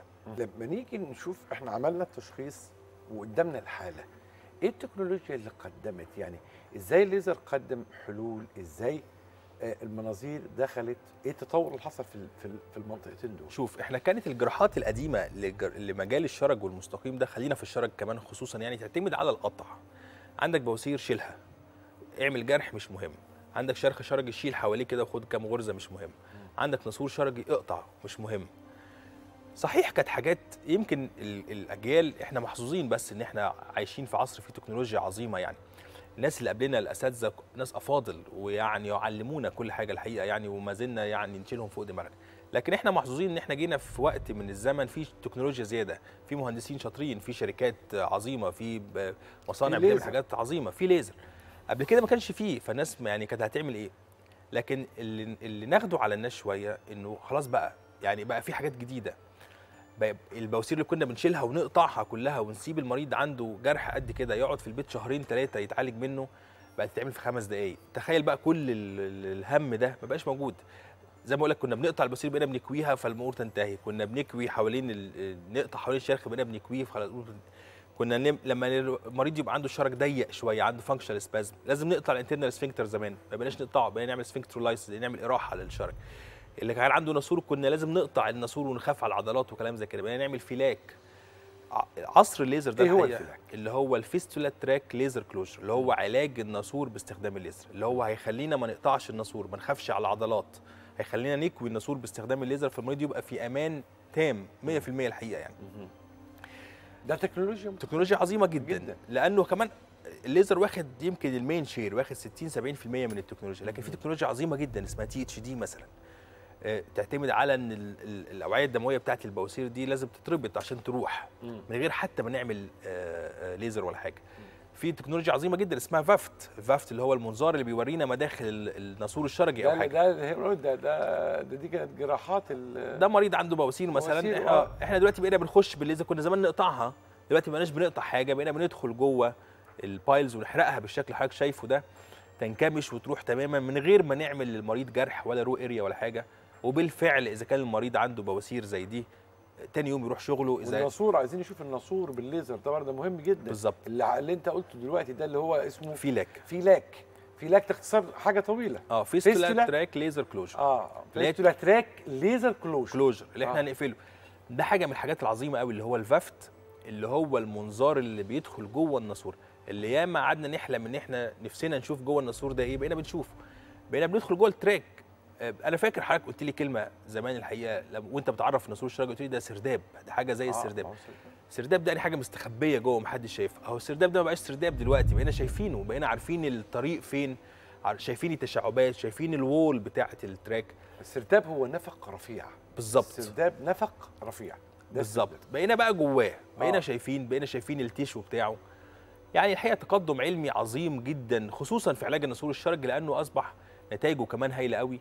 لما بن combine ال- ال VAAFT مع الليزر لما نحط المنظار جنب الليزر دي شركة أمريكية اسمها Storz دي شركة ألمانية اسمها Biolitec الاثنين بقوا جنب بعض. يعني الحقيقة يعملوا آه، نتائج عظيمة جدا. التكنولوجيا ملهاش آخر ابدا في علاج أمراض الشرج والمستقيم وكل يوم بنلاقي حاجات تخلينا نبعد آه، المريض عن أي آه، أي حتة فيها خطر. هي الفكرة زي ما بقول لك إن الأمراض دي زمان كان فيها خطورة في عملياتها. الخطورة دي بقت zero. يعني بقى المريض يعمل عملية وأقول له أنت 100% مش هيحصل مضاعفات. الألم ما بعد العملية نقول لك أنت ما عندكش ألم لكن هل الألم نروح ونيجي فيه؟ آه. ممكن نعمل مريض ويتوجع يومين ثلاثة وأنا أقول له انك مش هتوجع في مريض نعمله يتوجع ساعتين ثلاثة لكن اللي ما فيهوش كلام ابدا ال safety اللي ما بيحصلش اللي ابدا إن هو دلوقتي ده اللي إحنا شفناه دلوقتي ده المنظار. المنظار اللي اللي هو اللي إحنا كنا بنشتغل بيه دلوقتي. اللي هو بالظبط اللي إحنا. آه. بندخل بيه جوه ال track آه اللي هو بيورينا الم- المليهات الصغيرة اللي كان مستحيل نتخيل أو نحلم إن إحنا نبقى عينينا بالناسور. جوه ال track آه،. جوه الناسور الناسور الليزر إذا كان بيدخل آه، لما نشوفه دلوقتي الليزر وهو بيتعامل مع الناسور هيمشي في الناسور ويحرقه من جوه بس مش شايفين بس مش كان شايف مش شايف مش شايف. بس يعتمد على- متخيله يعني إيه. فلاك بالظبط. يعتمد على خبرتك انت. يعني على الجراح وهو بيسحب بالملي وحاجات زي كده. ده إحنا دلوقتي بقى بقينا بنشوف وإحنا بنحرق. يعني خلي بالك هي اللي داخلة دي اللي هي القسطره بتاعت الليزر. فبقينا شايفين وإحنا داخلين. لو في حتة آه، أنا ما خدتش بالي منها وأنا بحرقها تبان لي قوي بقى في الكاميرا إن أنت ما حرقتش كل حاجة فقد يكون ده سبب لارتجاع الناسور. فخد بالك لازم تحرق الحتة دي تاني. اذا combination صعب ما بين آه، يعني combination محتاج آه، يعني آه، ادي ادي الليزر اهو داخل كان. بالظبط ده ده ده تكنولوجيا لوحده. بالظبط آه. فمش مش بس تكنولوجيا واحدة بقى ده انت وفرت للمريض كل التكنولوجيا اللي في العالم. آه. خلي بالك إحنا كان عندنا آه، خبير ألماني الحقيقة من الشركة بتاعه الليزر. على فكرة دول شركتين يعني دي ألمانيا اللي على اليمين دي ألمانيا ودي واللي على. الشمال أمريكا. بالظبط دي شركة Storz. كانوا بيحاربوا بعض في يوم من الأيام. بالظبط يعني. بالظبط صحيح. لا ده كانوا بيحاربوا بعض كابلات بالظبط بالظبط. دلوقتي شوف بيعملوا combination تعاون علمي بالظبط. على أرقى مستوى. وهو ده قيمة الأبحاث العلمية وهو ده قيمة فعلا يعني قيمة الإنسانية. العلم بيقرب ال ال يعني ال 100% كانوا بيفنوا بعض. بالظبط. أمريكا كانت بتفني ألمانيا بتفني. دلوقتي بقى بنشتغل سوا. آه. يعني بقينا أنا بقدم أنا شاطر قوي في تصنيع المناظير فعملت المنظار اللي هو ال VAAFT وأنت شاطر قوي في تصنيع اجهزه الليزر فعملنا الحاجتين مع بعض اللي يخدموا المريض. أنا بقول لك إحنا كان عندنا قريب آه، خبير كده من المانيا الراجل انبهر بانه هو جاي فاكر إن إحنا بنستخدم الليزر بس فلما دخل وشاف ال machines والأجهزة وحاجات زي كده الراجل انبهر إنه ما شافش في مكان إنك واخد كل حاجة حلوة من كل حتة يعني أكنك واخد ال- التطور الأمريكي كله في. في شركة Storz واخد التطور الألماني كله في شركة Biolitec واخد الشركة الايطالي كله في ال THD مثلا procto station مثلا يعني procto station ده بالمناسبة لأن أنا بحبه جدا الحقيقة. procto station ده واحد ال procto station ده كان موضوع الحوار بتاعنا. بالظبط. خلي بالك يعني- هو واحد من أربع أجهزة في الوطن العربي. ما شاء الله. يعني ال... ال... محطة التشخيص. الوحيد اللي في مصر بالمناسبة وكانت بالمناسبة جامعة عين شمس هتشتريه لكن ال- ال- المشاكل في الميزانية وحاجات زي كده وقف الموضوع عندهم. عندنا في في في هيمو كيور وموجود في دبي في مستشفى في دبي في مستشفى زليخة وموجود في بلدين كمان جوه الوطن العربي أربعة جوه الوطن العربي. في في إيطاليا وفي ألمانيا منتشر شوية لكن جوه العرب أربعة أربع أجهزة بس. أجهزة تشخيصية. تشخيصية بس ما بتعملش حاجة ما بتعالجش آه. حاجة. على فكرة دايما بيبقى في مخل في الأجهزة التشخيصية. بالظبط. ما بيعالجش. آه لأنه أنت بتعمل إيه؟ يعني بص تلاقي إيه؟ أصرف يا عم على الليزر لأنه أنا هعمل بيه العملية. بس ما أنا. هشخصه. بالظبط. ما أنا ه- طب أنت عارف المقارنة فين؟ آه، اتنين دكاترة. واحد شاف المريض لمدة ثواني وقال له أنت عندك بواسير. وإحنا قعدنا ربع ساعة نشخص المريض بالأجهزة والصور وكل حاجة وفي الآخر إحنا قلنا له إن عندك بواسير صحيح. لكن أنا متأكد هنا إنه ما عندوش حاجة غير البواسير وهنا هو مش متأكد. هو خايف يكون عنده حاجة تانية أو حاجة يكتشفها جوه العمليات أو حاجة زي كده. هي دي بقى قيمة التطور وقيمة إنك يعني بتسعى الحقيقة للحاجات الجديدة كلها. أنت النهارده أسعدتني سعاده الله يخليك. النهارده اتفسحنا فسحة جميلة جدا. صحيح في عالم يعني فسحة جميلة. يعني النهارده على فكرة الحوار كان بدون ترتيب. إحنا النهارده كنا صحيح. هنقعد نتكلم في ال procto station. لقيت إن ال procto station ده يعني أسال لعابي العلمي في إن أنا أشوف بقى إيه اللي وراه شخصنا ماشي. الليزر. الليزر يعني أبهرنا. قلنا لا ندخل ورا الليزر نشوف في إيه طلع ال- كمان الطمع مش إن أنا أعمل الليزر عمياني ب- ب- ب- بجايد بمتتبع اللي هو الخيط الازرق اللي نشوفه لا ده أنا هشوفه بمنظر ده أنا بقيت شاطر قوي في الحاجات دي. جدا والله كل تخصص يقولوا لي انت بقيت صحيح جدا والله أنا منبهر يعني والله الأسنان يا باشا والله. بقيت بقيت أعدل عليهم وخطة على جاي أنا عارف، أنا عارف. بروقهم في الأسنان رغم إنها كلية طب ثانية خالص صحيح. ضيفي العزيز الأستاذ الدكتور محمد النجار استشاري جراحات الشرج والمستقيم وعضو الجمعيه الأوروبية لجراحات الشرج وهو طبعا المؤسس لهيمو كيور لعلاج وأمراض الشرج ال- والمستقيم نورتني وشرفتني. ومن أنا أجمل. الحاجات اللي أنا يعني يعني روحك الجميلة اعتزازك بفريق العمل ده مدرسة مهمة جدا صحيح. لازم ننقلها لكل كل الجيل الصاعد بقى ورانا فريق أنت من غير فريق عملك صحيح بتبقى مضطرب. مع فريق عمل بتحس بالأمان. اعتزازك بفريق عملك ده مهم جدا. واختيارك له مش موضوع سهل. ده موضوع عايز تركيز شديد جدا صحيح. جدا. خليكم مع الناس الحلوة. لا يمكن في دوال الخصيتين أن نطلق الأمر كده. نقول دوال الخصيتين ونقول تعمل كذا. لا إحنا بنتكلم على stages ومستوى معين من التأثير. هيقول لي طب أصل أنا بقف يبقى هيجي لي دوالي؟ لا ما كل الناس بتقف. لكن في ناس هيجي لهم وناس مش هيجي. طب أنا بشيل حاجات تقيلة هيحصل لي دوالي؟ لا أنت هتحصل غيرك مش هيحصل. لازم يكون في قابلية من الأول في الأوردة دي أو الضعف اللي إحنا بنقول عليه في الصمامات دي اللي بيخلي الدوالي تحصل أو تبقى موجودة. علاقة دوال الخصيتين بالإثارة المستمرة نتيجة مشاهدة الأفلام الإباحية. للأسف في شباب في الوطن العربي بيتفرج على الأفلام الإباحية. للأسف. طب المستم... ال- ال- الإثارة المستمرة أهلا بكم في واحدة من حلقاتنا الهامة ودايما حلقة لما يكون عنوانها دوال الخصيتين النهم العلمي والرغبة في الفهم الدقيق لهذا الموضوع اللي عليه جدل. والجدل بينمو من إن دوال الخصيتين أنا بعتقد إن هو نقدر نقول كده باللغة البسيطة إنها أكيد مش حالة ذات شكل واحد ليها أشكال ودرجات. ومن هنا من درجات المرض يكمن الاختلاف أو يكمن ما يسمى بالمعتقدات الخاطئة وغير الدقيقة. مثلا دوال الخصيتين علاقتها بالعقم إيه؟ ده سؤال مهم جدا هيطرح نفسه. وطبعا هرجع تاني أقول لك أنهي مستوى من الدوالي أنت بتتكلم على مين؟ لأنه لا يمكن في دوال الخصيتين أن نطلق الأمر كده. نقول دوال الخصيتين ونقول تعمل كذا. لا إحنا بنتكلم على stages ومستوى معين من التأثير.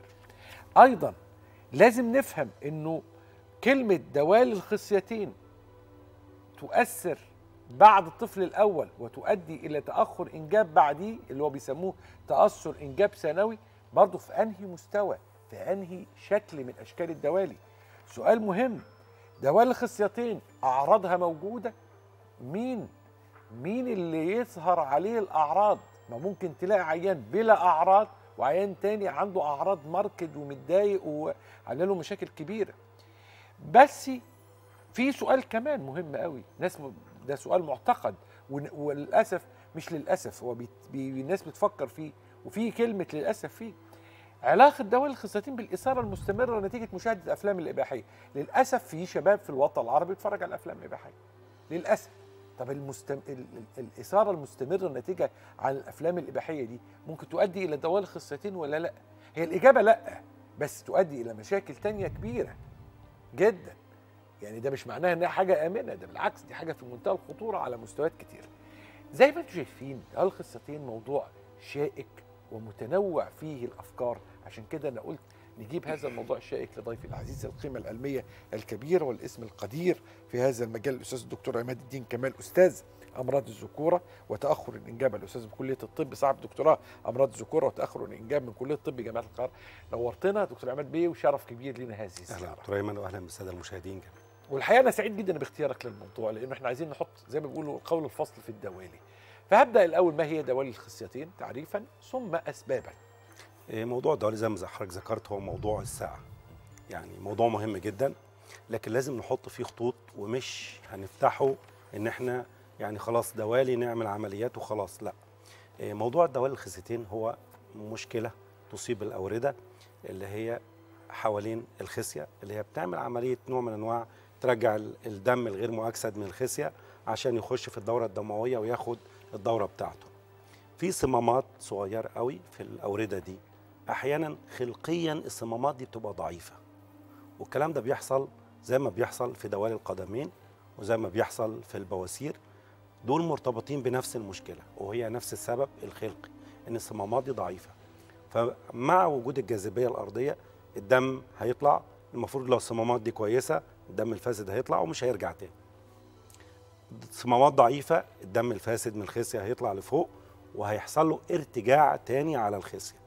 فكان أنا عملت نوع من أنواع دم غير مؤكسد أو دم فاسد رجع على الخصية تاني رفع درجة الحرارة مليء بالشوائب والمواد الغير مؤكسدة هتأثر على الخصية. لكن زي ما حضرتك ذكرت آه، هي الدوالي قابلية موجودة عند الشخص من الأول يعني عنده عيب خلقي في ال ال ال الأوردة دي. إيه اللي يزودها يعني ما إحنا في ناس كتير عندهم دوالي تمام؟ في حاجات معينة بتزود موضوع الدوالي الناس اللي بيقفوا فترات طويلة. الناس اللي بيشيلوا حاجات تقيلة. الناس اللي عندهم ضغط على عضلات البطن مستمر. عنده كحة مزمنة. عنده إمساك مزمن. بيرفع أثقال كتيرة. كل ده بيعمل ضغط على البطن وبالتالي بيعمل إعاقة لرجوع الدم الغير مؤكسد من الخصية. فبيزود في الارتجاع. فيحصل الدوالي موضوع زي ما حضرتك ذكرت الإثارة الجنسية للشباب واللي بيتفرجوا على الحاجات دي هي فعلا ما تعملش لكن بتزود الاحتقان. ما تبدأش المشكلة لا. لكن تزود بالظبط تزود المشكلة لكن ما تبدأش المشكلة ابدا. فكل الحاجات دي بتزود الدوالي وبتخلي الدوالي موجودة عند ناس معينين وناس لأ. هيقول لي طب أصل أنا بقف يبقى هيجي لي دوالي لأ. ما كل الناس بتقف لكن في ناس هيجي لهم وناس مش هيجي. طب أنا بشيل حاجات تقيلة هيحصل لي دوالي؟ لأ أنت هتحصل غيرك مش هيحصل. لازم يكون في قابلية من الأول في الأوردة دي أو الضعف اللي إحنا بنقول عليه في الصمامات دي اللي بيخلي الدوالي تحصل أو تبقى موجودة. فالدوالي موجودة في نسبة 20% من الشباب. يعني هي نسبة مش قليلة.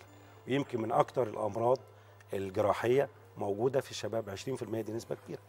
فموجودة فعلا بنسبة لكن على درجات متفاوتة. درجة خفيفة درجة متوسطة درجة كبيرة. وكل درجة لها تأثير وكل درجة لها تعامل معين من التعامل اللي إحنا بنتعامل معاها فيه.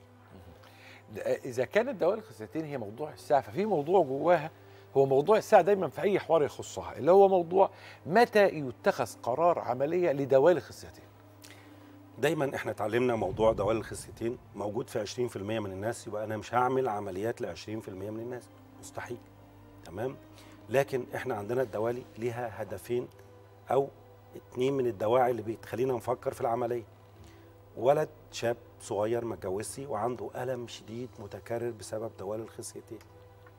أفحصه والاقي عنده دوالي متقدمة وبدأت كمان تأثر على السائل المنوي. لازم أعمله. شاب تزوج وما كانش يعرف إنه عنده دوالي. وبدأنا نشوف سبب تأخر الحمل عند زوجته. عملنا تحليل سائل منوي. لقينا نقص في الحركة بتاعة الحيوانات. زيادة في تشوهات الحيوانات المنوية. قلة في العدد بدأنا نفحص نلاقي فيه دوالي هنفكر نعمل الدوالي دي.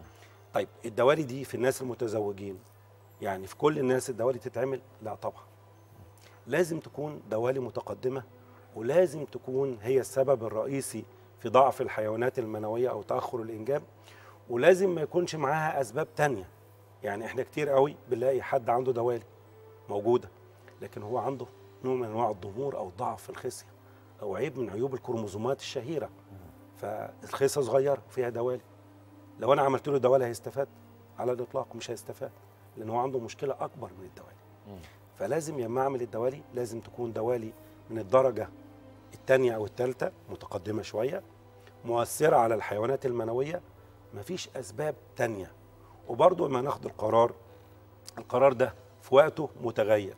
يعني أحيانا بقول للمريض خلاص لازم نعمل الدوالي ومش هنستنى أي وقت. دوالي كبيرة اتشخصت ضعف في الحيوانات المنوية ملوش سبب تاني. تأخرنا في الحمل سنتين ثلاثة الزوجة سليمة ما عنديش أي أسباب تانية. خلاص واضح. القرار واضح. وملوش تاني يعني ما, ما نقدرش نقول احتمال نعمل كذا لا هو هنعمل الدوالي. طيب دوالي موجودة متوسطة مش كبيرة عاملة ضعف متوسط في الحيوانات المنوية تمام؟ لا أقدر أستنى وأدي فرصة للعلاج مرة واتنين. إذا حصل حمل خير. ما حصلش حمل لا هعمل الدوالي. طب لو حصل حمل الدوالي انتهت؟ لا ما انتهتش هي موجودة. هستنى الحمل الثاني إذا اتأخر هتعامل معاها. ما تأخرش برضو ما فيش مشكلة.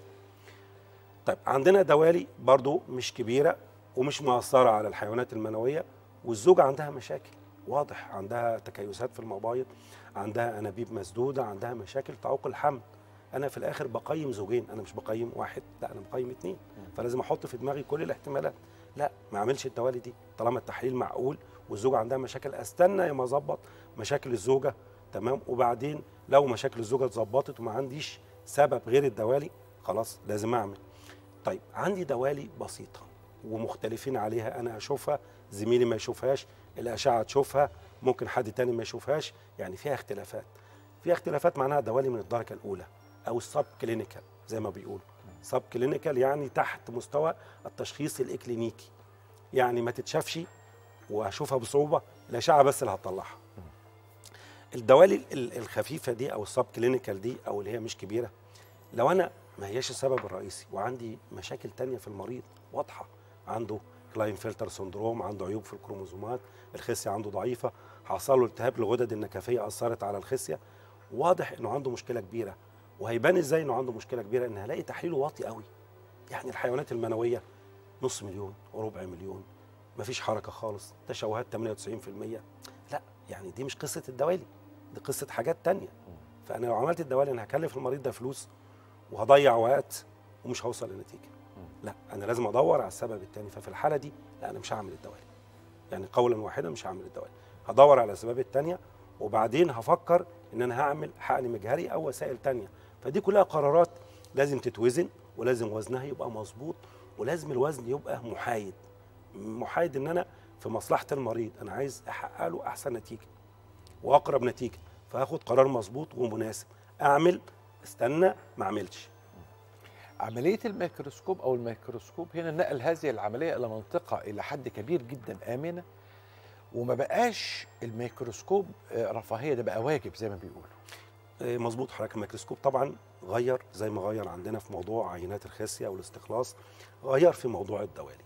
الدوالي مرت العمليات بتاعتها بمراحل كبيرة قوي على مدار الزمان من ناحية العمليات الجراحية مستوى العملية المستوى العالي اللي هو فوق المنطقة الإرابية ومستوى المنطقة الإرابية ومستوى ما تحت المنطقة الإرابية. كل دي مرينا بيها وفي الآخر اكتشفنا إن أحسن أماكن اللي هي المنطقة الإرابية أو ما تحتها.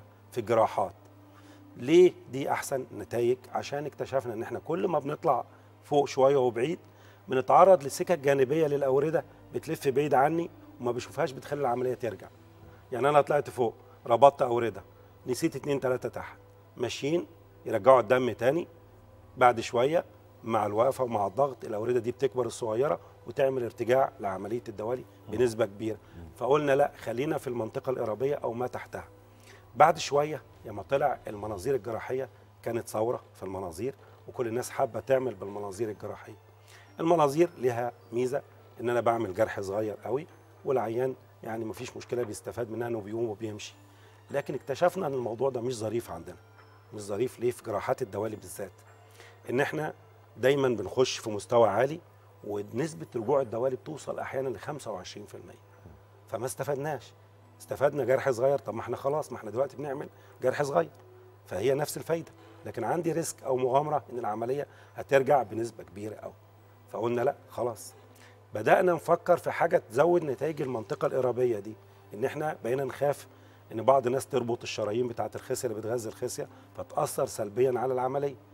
أحيانا بنربط الأوردة ال- أو الاوعيه الليمفاوية اللي هي بتجمع مية حوالين الخصيه فقلنا لازم نفكر في حل إن إحنا نشوف الحاجات دي كويس قوي فدخلنا الميكروسكوب. الميكروسكوب ياما بفتح وبشوف العملية أنا ببقى مكبر تقريبا حوالي 40 X 80 X 100 X يعني ال field متكبر بشكل كبير جدا. فالنبض بتاع الشعيرات أو نبض ال- الشرايين هقدر أشوفه وأنا بطلع الأوردة وأقدر أبعد عنه خالص وأبعد عن ال- الشرايين اللي هي ربط ربطها ممكن يضر أو ممكن يدينا نتائج مش ظريفة. وباخد الأوردة بعيد وأربط الأوردة دي كويس قوي وهكذا برضو الاوعيه الليمفاويه ببعد عنها عشان ما اديش احتمالية تكون كيس مائي أو قيلة مائية للعملية. وبالتالي الميكروسكوب خلى العملية إلى حد ما دقتها عليت قوي وبقت واضحة وما فيهاش مضاعفات حتى لو حصلت المضاعفات دي مضاعفات بنسبة قليلة جدا. فعشان كده إحنا حاليا الميكروسكوب الجراحي في الدوالي يعتبر رقم واحد في عمليات الدوالي. البرقية السريعة بقى من من لا. يعني يظل يعمل عملية الدوالي بالأساليب القديمة. متجاهل الميكروسكوب أكيد. لا إحنا طبعا الأساليب القديمة زي ما قلنا هتفقد فرص المريض فهتحرمه من نتائج كويسة. هو عملها عشان كده. فمعلش لو هنعمل دوالي عشان تأخر إنجاب خلينا نعملها بطريقة صحيحة حديثة تدي للمريض نتائج. ومعلش يعني إحنا دلوقتي في زمن التخصص خليه يعملها عند متخصص أفضل. وخلينا إحنا نشتغل في شغلنا التاني. عندنا سكوب كتير قوي من الشغل إذا كان الناس اللي هم مش متخصصين عندهم شغلهم التاني. خلي الدوالي المتخصصين بتوعهم. لو كل واحد التزم بتخصصه يعني هيبقى مبسوط طبعا جدا. لا يعني نستريح كلنا جدا. في ناس للأسف يعني في ناس بتشتغل حاجات غريبة بعيده عن تخصصها وسايبة تخصصها الغني جدا يعني. طبعا. غريبة يعني الناس غريبة. الناس اللي عندها دوالي أو معرضين أو عايشين حالة دوالي أو عملوا عمليات هيبعدوا عن الأشياء الاتيه الوجبات السريعة بلاش منها.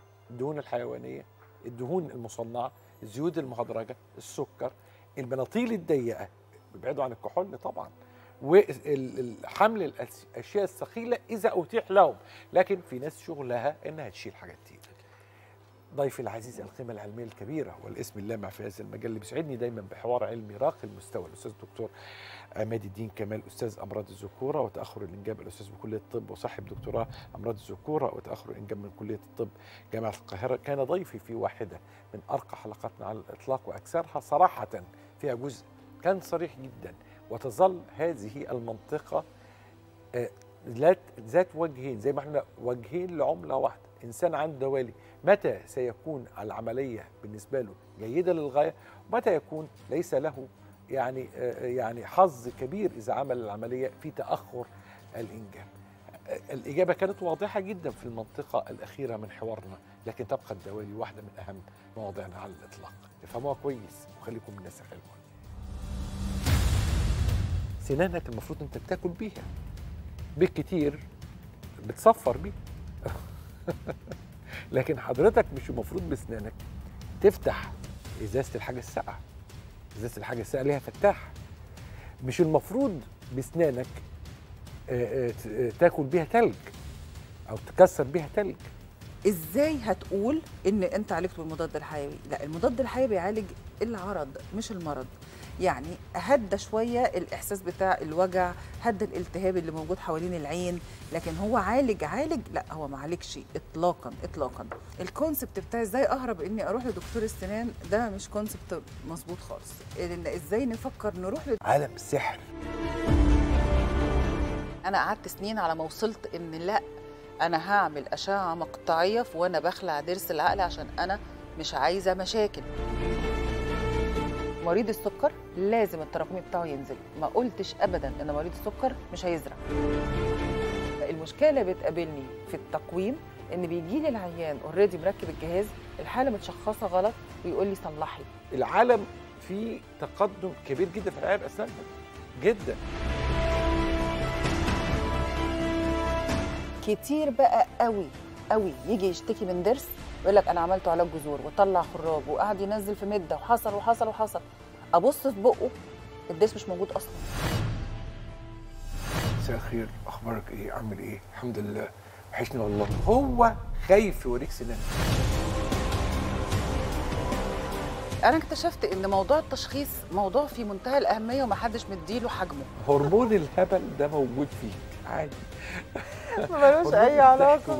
والعقل اللي- اللي رايح مسافر ده مش ملوش علاقة تدخل عند السعاده ولا لا.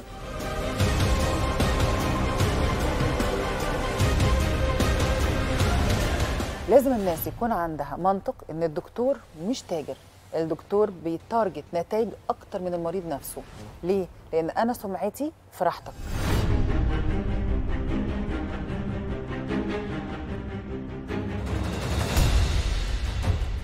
الدكتور إسراء أحمد السعيد استشاري جراحات الفم والأسنان بكلية طب القصر العيني.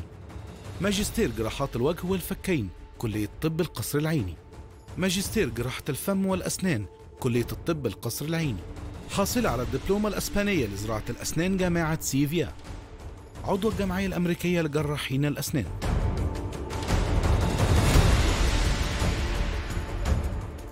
أهلا بكم في عالم الأسنان في أخطاء الناس بترتكبها أنا بعتقد إنها من الأخطاء القاتلة.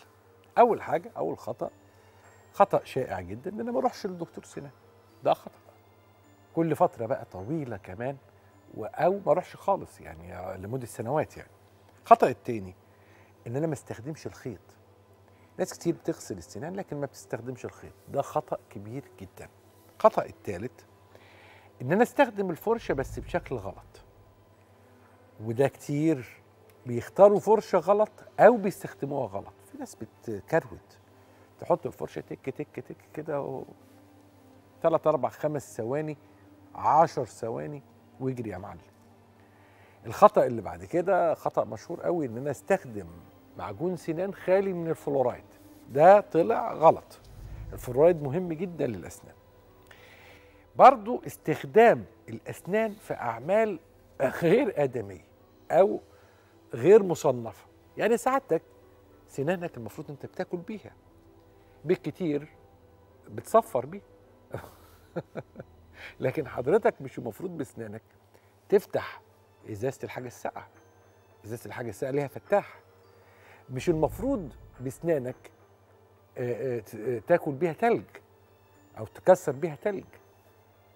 مش المفروض إنك أنت تقعد طول ما أنت قاعد حاطط مثلا خلة كده جوه أسنانك وعامل فيها يعني الواد من الغرب الأمريكي. كل دوت بيضر بالسنان جدا. الحاجة التانية أرجوك أرجوك تروح لدكتور الأسنان.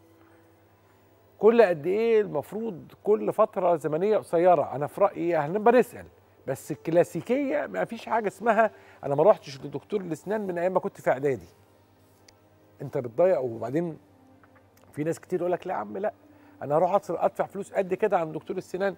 هي مش قد كده ده رقم واحد. رقم اتنين ما انت بتصرف فلوس بقى قد كده في هيافات بتقعد على الكافيه وتصرف فلوس. بتحب المنظرة وتقعد تجيب لبس ما بتلبسوش وبتصرف فلوس. الموبايل بتاعك عمال تستخدمه في الهيافة وطول اليوم قاعد عمال تشات وتتفرج على فيسبوك ومش عارف إيه وتدفع فاتورة في الآخر قد كده وتصرف فلوس. آه، بتدفع فلوس للنادي اللي انت ما بتروحوش واللي مش عارف إيه اللي انت ما بتعملوش ومواويل كتيرة جدا جدا. انت بتصرف فيها ملهاش لازمة. ف ودلوقتي منظومات طب الأسنان مش مكلفة زي الأول. أعتقد يعني في حاجات مكلفة. النهارده هنسمع حوار ممتع جدا مع ضيفتي العزيزة التي تمتعني وخصوصا في هذا النوع من الحوارات الحكاوي. بتحكي لي دايما زي ما بيقولوا دفتر أحوال. الكلمة دي قديمة الجيل بتاعنا يعرفها كلمة دفتر أحوال. ويوميات دكتور سنان النهارده هنستمتع بيوميات دكتور أسنان بس من طراز رفيع وصاحب علم متميز صاحبة علم متميز للغايه ضيفتي العزيزه الاستاذه الدكتوره إسراء السعيد استشاري جراحات الفم والأسنان بكلية الطب وماجستير جراحات الفم والأسنان بكلية طب أسنان آه، قصر العيني ماجستير جراحات الفم والأسنان وحاصلة آه، الحاصلة على الدبلومة الأسبانية لزراعة الأسنان من جامعة سيفيا وعضو الجمعية الأمريكية لجراحة الأسنان. أهلا أهلا أهلا أهلا يا. دكتور أيمن. اللي أنا قلته دي أخطاء شهيرة. الواحد يروح يجي لك كل قد إيه؟ بصي هي الأخطاء ديت فعلا مشهورة بس إحنا لو قدرنا إن إحنا نروح لدكتور الأسنان مرة كل ست شهور يعني ده هيبقى جميل والله يعني أنا جميل. هبقى متشكرة جدا لحد متشكرين عمل كده متشكرين متشكرين. زوروني كل ست شهور مرة يا ريت والله ده كده يبقى- الأغنية بتاعت آه. آه، بتاعت سيد درويش بالظبط كده يعني إحنا لو كل يعني سنة عملنا مرة. الموضوع دوت بجد هيبقى الموضوع فارق كتير المفروض تعملوا الأغنية دي. ليكوا أنتوا آه والله يعني لا هي تقول زوروني كل سنة مرة آه يعني أنا حرام. تنسوني بالمرة حرام. هو فعلا تصدق الأغنية دي المفروض تشتغل في كل عيادات الأسنان. والله فكرة عبقرية. أيوه صح محدش مكتشفها. عبقرية. لو انت شغلتيها في ال background ان أحد يدخل زوروني. تاني بقى موضوع موضوع آه، غسيل الأسنان وموضوع ال- الخلة اللي بتتحط. الكلام دوت محتاج شوية تعديل. يعني إيه؟ يعني الناس المفروض تعرف إزاي بنغسل أسناننا وليه بنروح للدكتور وهل إحنا لو غسلنا أسناننا أنا بسمع الكلام ده كتير قوي لو غسلت أسناني كل يوم أنا مش هحتاج إني أروح لدكتور الأسنان؟ الأسئلة دي بتتسأل لي كل يوم على ال- الفيس ال Facebook page على بتسال في المركز بتتسأل لي في كل مكان. هو مبدئيا ال concept بتاع إزاي اهرب اني أروح لدكتور السنان ده مش concept مظبوط خالص. إن إزاي نفكر نروح لدكتور الأسنان علشان نبعد عن المشاكل مش إزاي ما اروحش لدكتور الأسنان. إحنا لازم يبقى عندنا قاعدة إحنا بنروح مرة كل ست شهور. تعثرنا لأي سبب حد مسافر بره مصر بينزل مرة كل سنة. آه عندنا ابننا في ثانوية عامة بنتنا مثلا تعبانة. خلاص خلينا مرة كل سنة.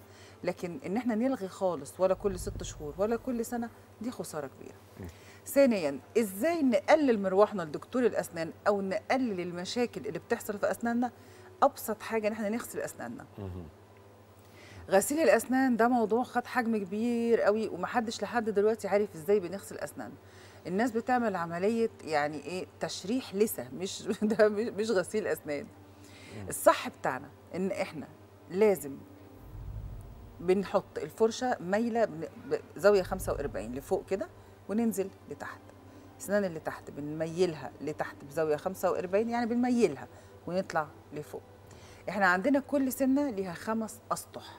إحنا كده عملنا سطحين أو ثلاثة طب باقي الأسطح هنعملها إزاي؟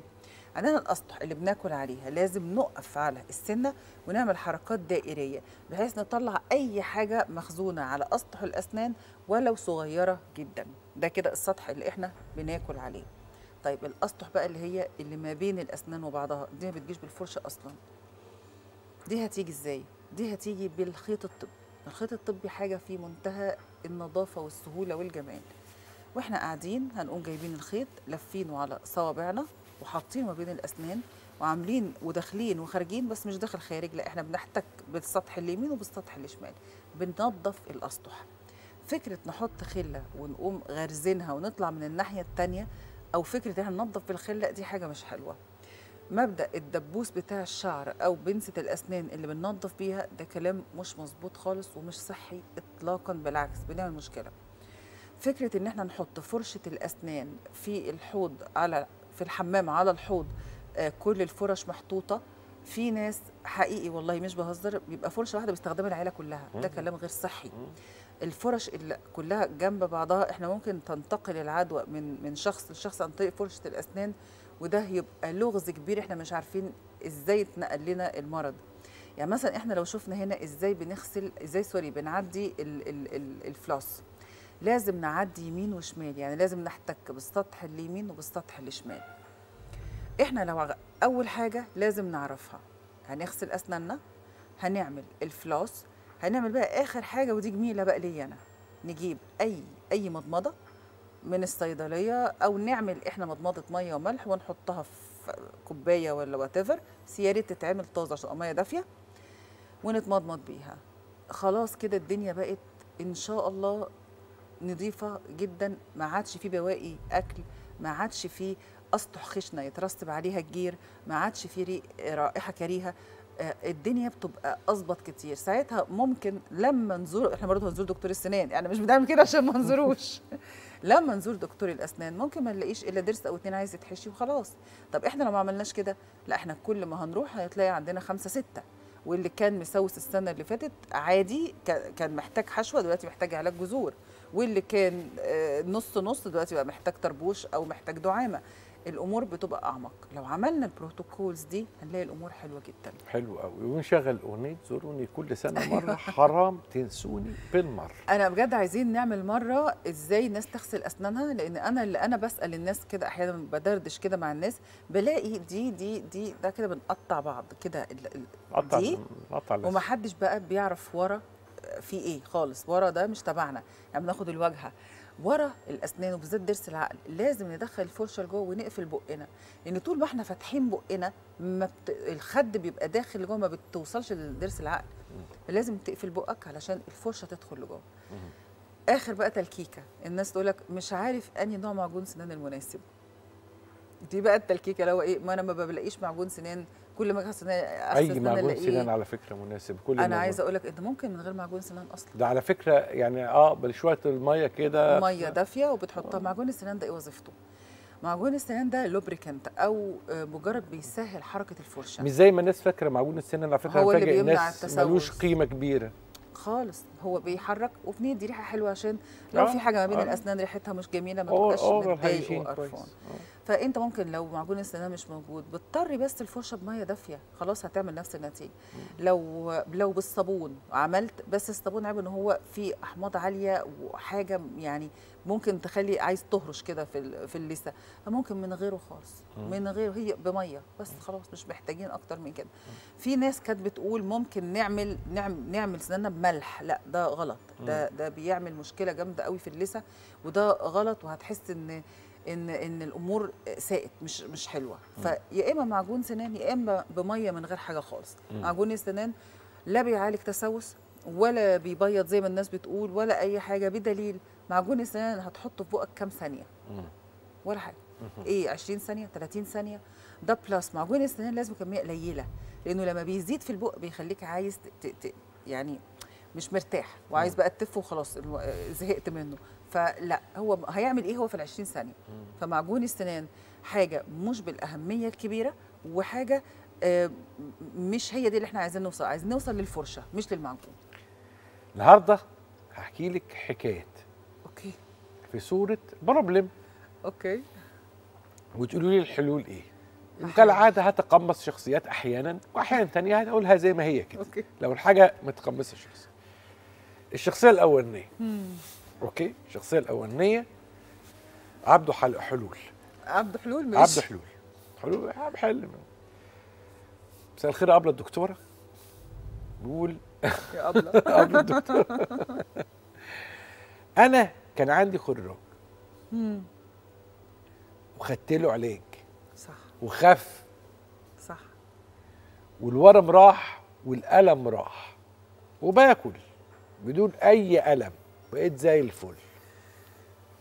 إيه بقى؟ فين السؤال؟ بس هو من الأول خالص. هو واضح هو من الأول خالص. آه.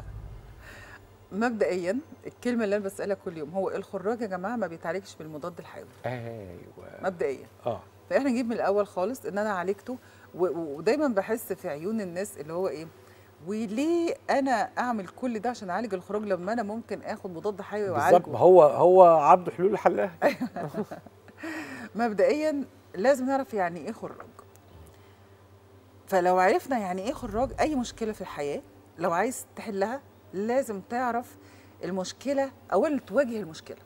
بس خلاص واجه المشكلة أنت كده حليت المشكلة. أو اعرف فين المشكلة. المشكلة إن عندك خراج الخراج ده أصلا مين شخصه؟ أصلا. هو الشخص نفسه أشك في تشخيصه.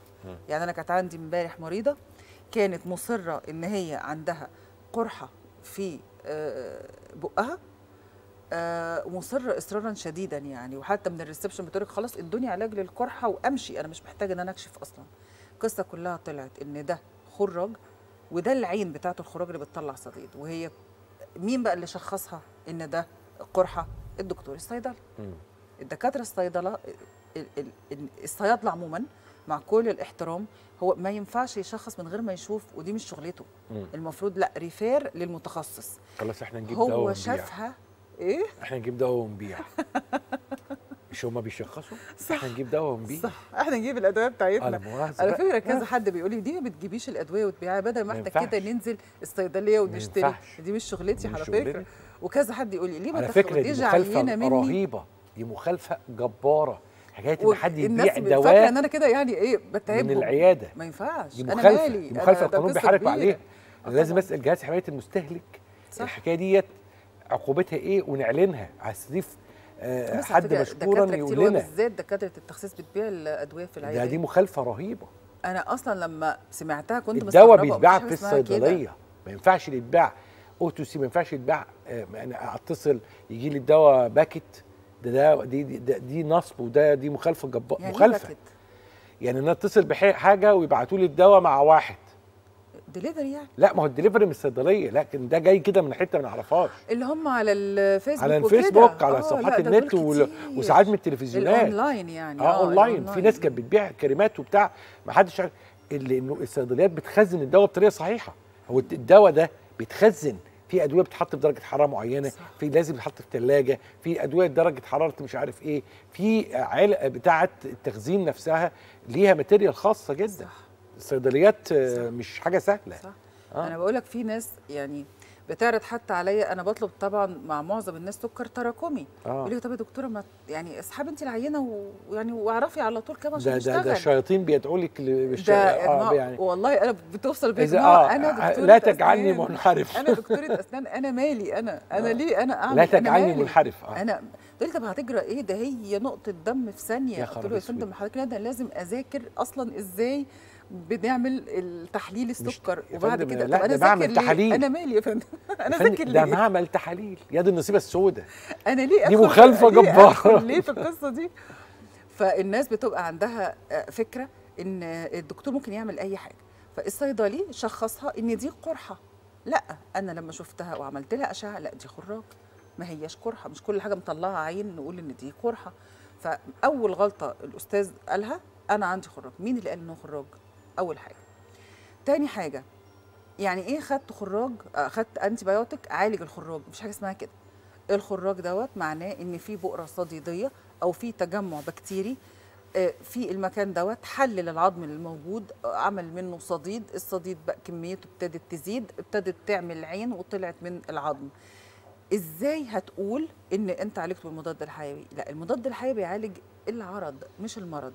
يعني هدى شوية الإحساس بتاع الوجع هدى الالتهاب اللي موجود حوالين العين لكن هو عالج عالج لا هو ما عالجش اطلاقا اطلاقا. المفروض إن إحنا الأول ندخل من خلال الضرس وننظف كويس يعني مثلا ده الطريقة اللي إحنا بندخل وبننظف كويس وبنشوف القنوات اللي متنيه إيه لأن ممكن جدا يبقى قناه متنية مش متنظفة كويس. آه، بن ممكن ننظف الخراج من خلال القنوات دي بنعمل فتحة كده تصرف الصديد ده كله. بس بنستنى فترة معينة قبل ما نقفل أو بالأشعة بنعرف إحنا هنقفل الضرس في نفس اليوم ولا بنستنى شوية. في بعض الناس بتستنى لما الصديد كله ينزل من خلال القنوات عشان ما تقفلش على حاجة. بتبقى أنت منظف كويس غاسل كويس ساحب كل ال- ال- ال- العدوى اللي في المكان آه، وبعد كده تدي بقى مضاد حيوي. لكن أنت تدي مضاد حيوي عشان يعالج لا هو مش هيعالج حاجة خالص. انت كده لو وصلت لمرحلة إن انت نظفت القنوات وقفلت بعلاج جذور جيد ومضغوط ومفيش هواء ومفيش حاجة تعدي لا من جوه ولا من بره يعني السوائل الفم ما تعديش الخراج ولا العكس انت كده ضمنت إن الجزء المتبقي من الخراج دوت خلاص الجسم هيمتصه والقصة ديت انتهت. بندي مضاد حيوي ليه؟ عشان ندعم الشغل اللي إحنا عملناه مش العلاج مش مش مش هيعالج المضاد الحيوي لوحده مش هيعالج. فإحنا نعمل القصة ديت وننظف كويس ونقفل وطبعا لازم هنركب طربوش بعد ما نخلص علاج الجذور في الوضع ده لأن الضرس دوت بقى ضعيف. كده هيبقى العلاج بتاعنا مثالي. فأنا بقول للأستاذ اللي بيسألني السؤال بتاع أنا خدت مضاد حيوي للخراج وخف الكلام دوت مش طبيعي أو مش مظبوط. طيب هو بقى الكلام الناس بتسأله طب ما أنا فعلا خدته وخفيت. وفعلا ده بيبقى حصل ده ظاهريا. ولكن إحنا وصلنا لمرحلة. عندك ألم شديد؟ خدت مضاد حيوي مضاد للالتهاب الألم هدي مش الخراج راح. فابتدى العصب يموت فالألم راح. هيجي بعدها بشهرين ثلاثة هتتعاد الكرة دي تاني بناء على إيه؟ بناء على مناعة الجسم. مجرد إن مناعة الجسم توطى شوية خلاص بيبدا الألم يزيد ويبدأ القصة دي تزيد. نرجع ناخد مضاد حيوي تاني أو مثلا بياخد مضاد حيوي لركبه مثلا أو لأي حتة تانية ملتهبة.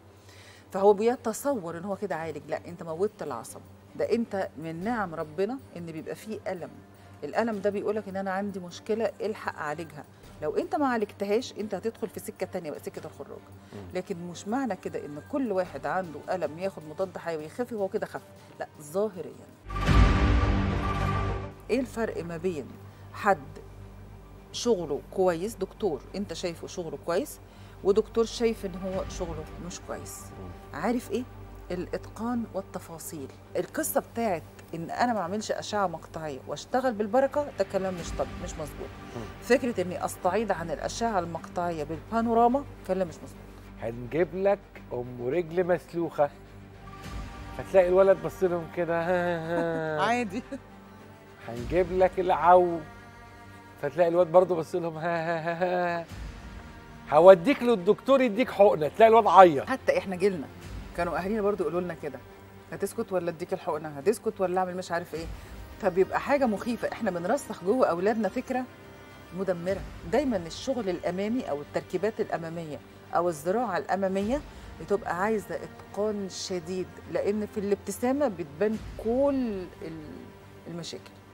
في حاجات بالنسبة للدكاترة تغيظ ضايق وفي حاجات بالنسبة للدكاترة تعصب قوي توصلك لمرحلة الغضب. وفي حاجات بالنسبة للدكاترة تقترب منها تخلي الدكتور يتشل.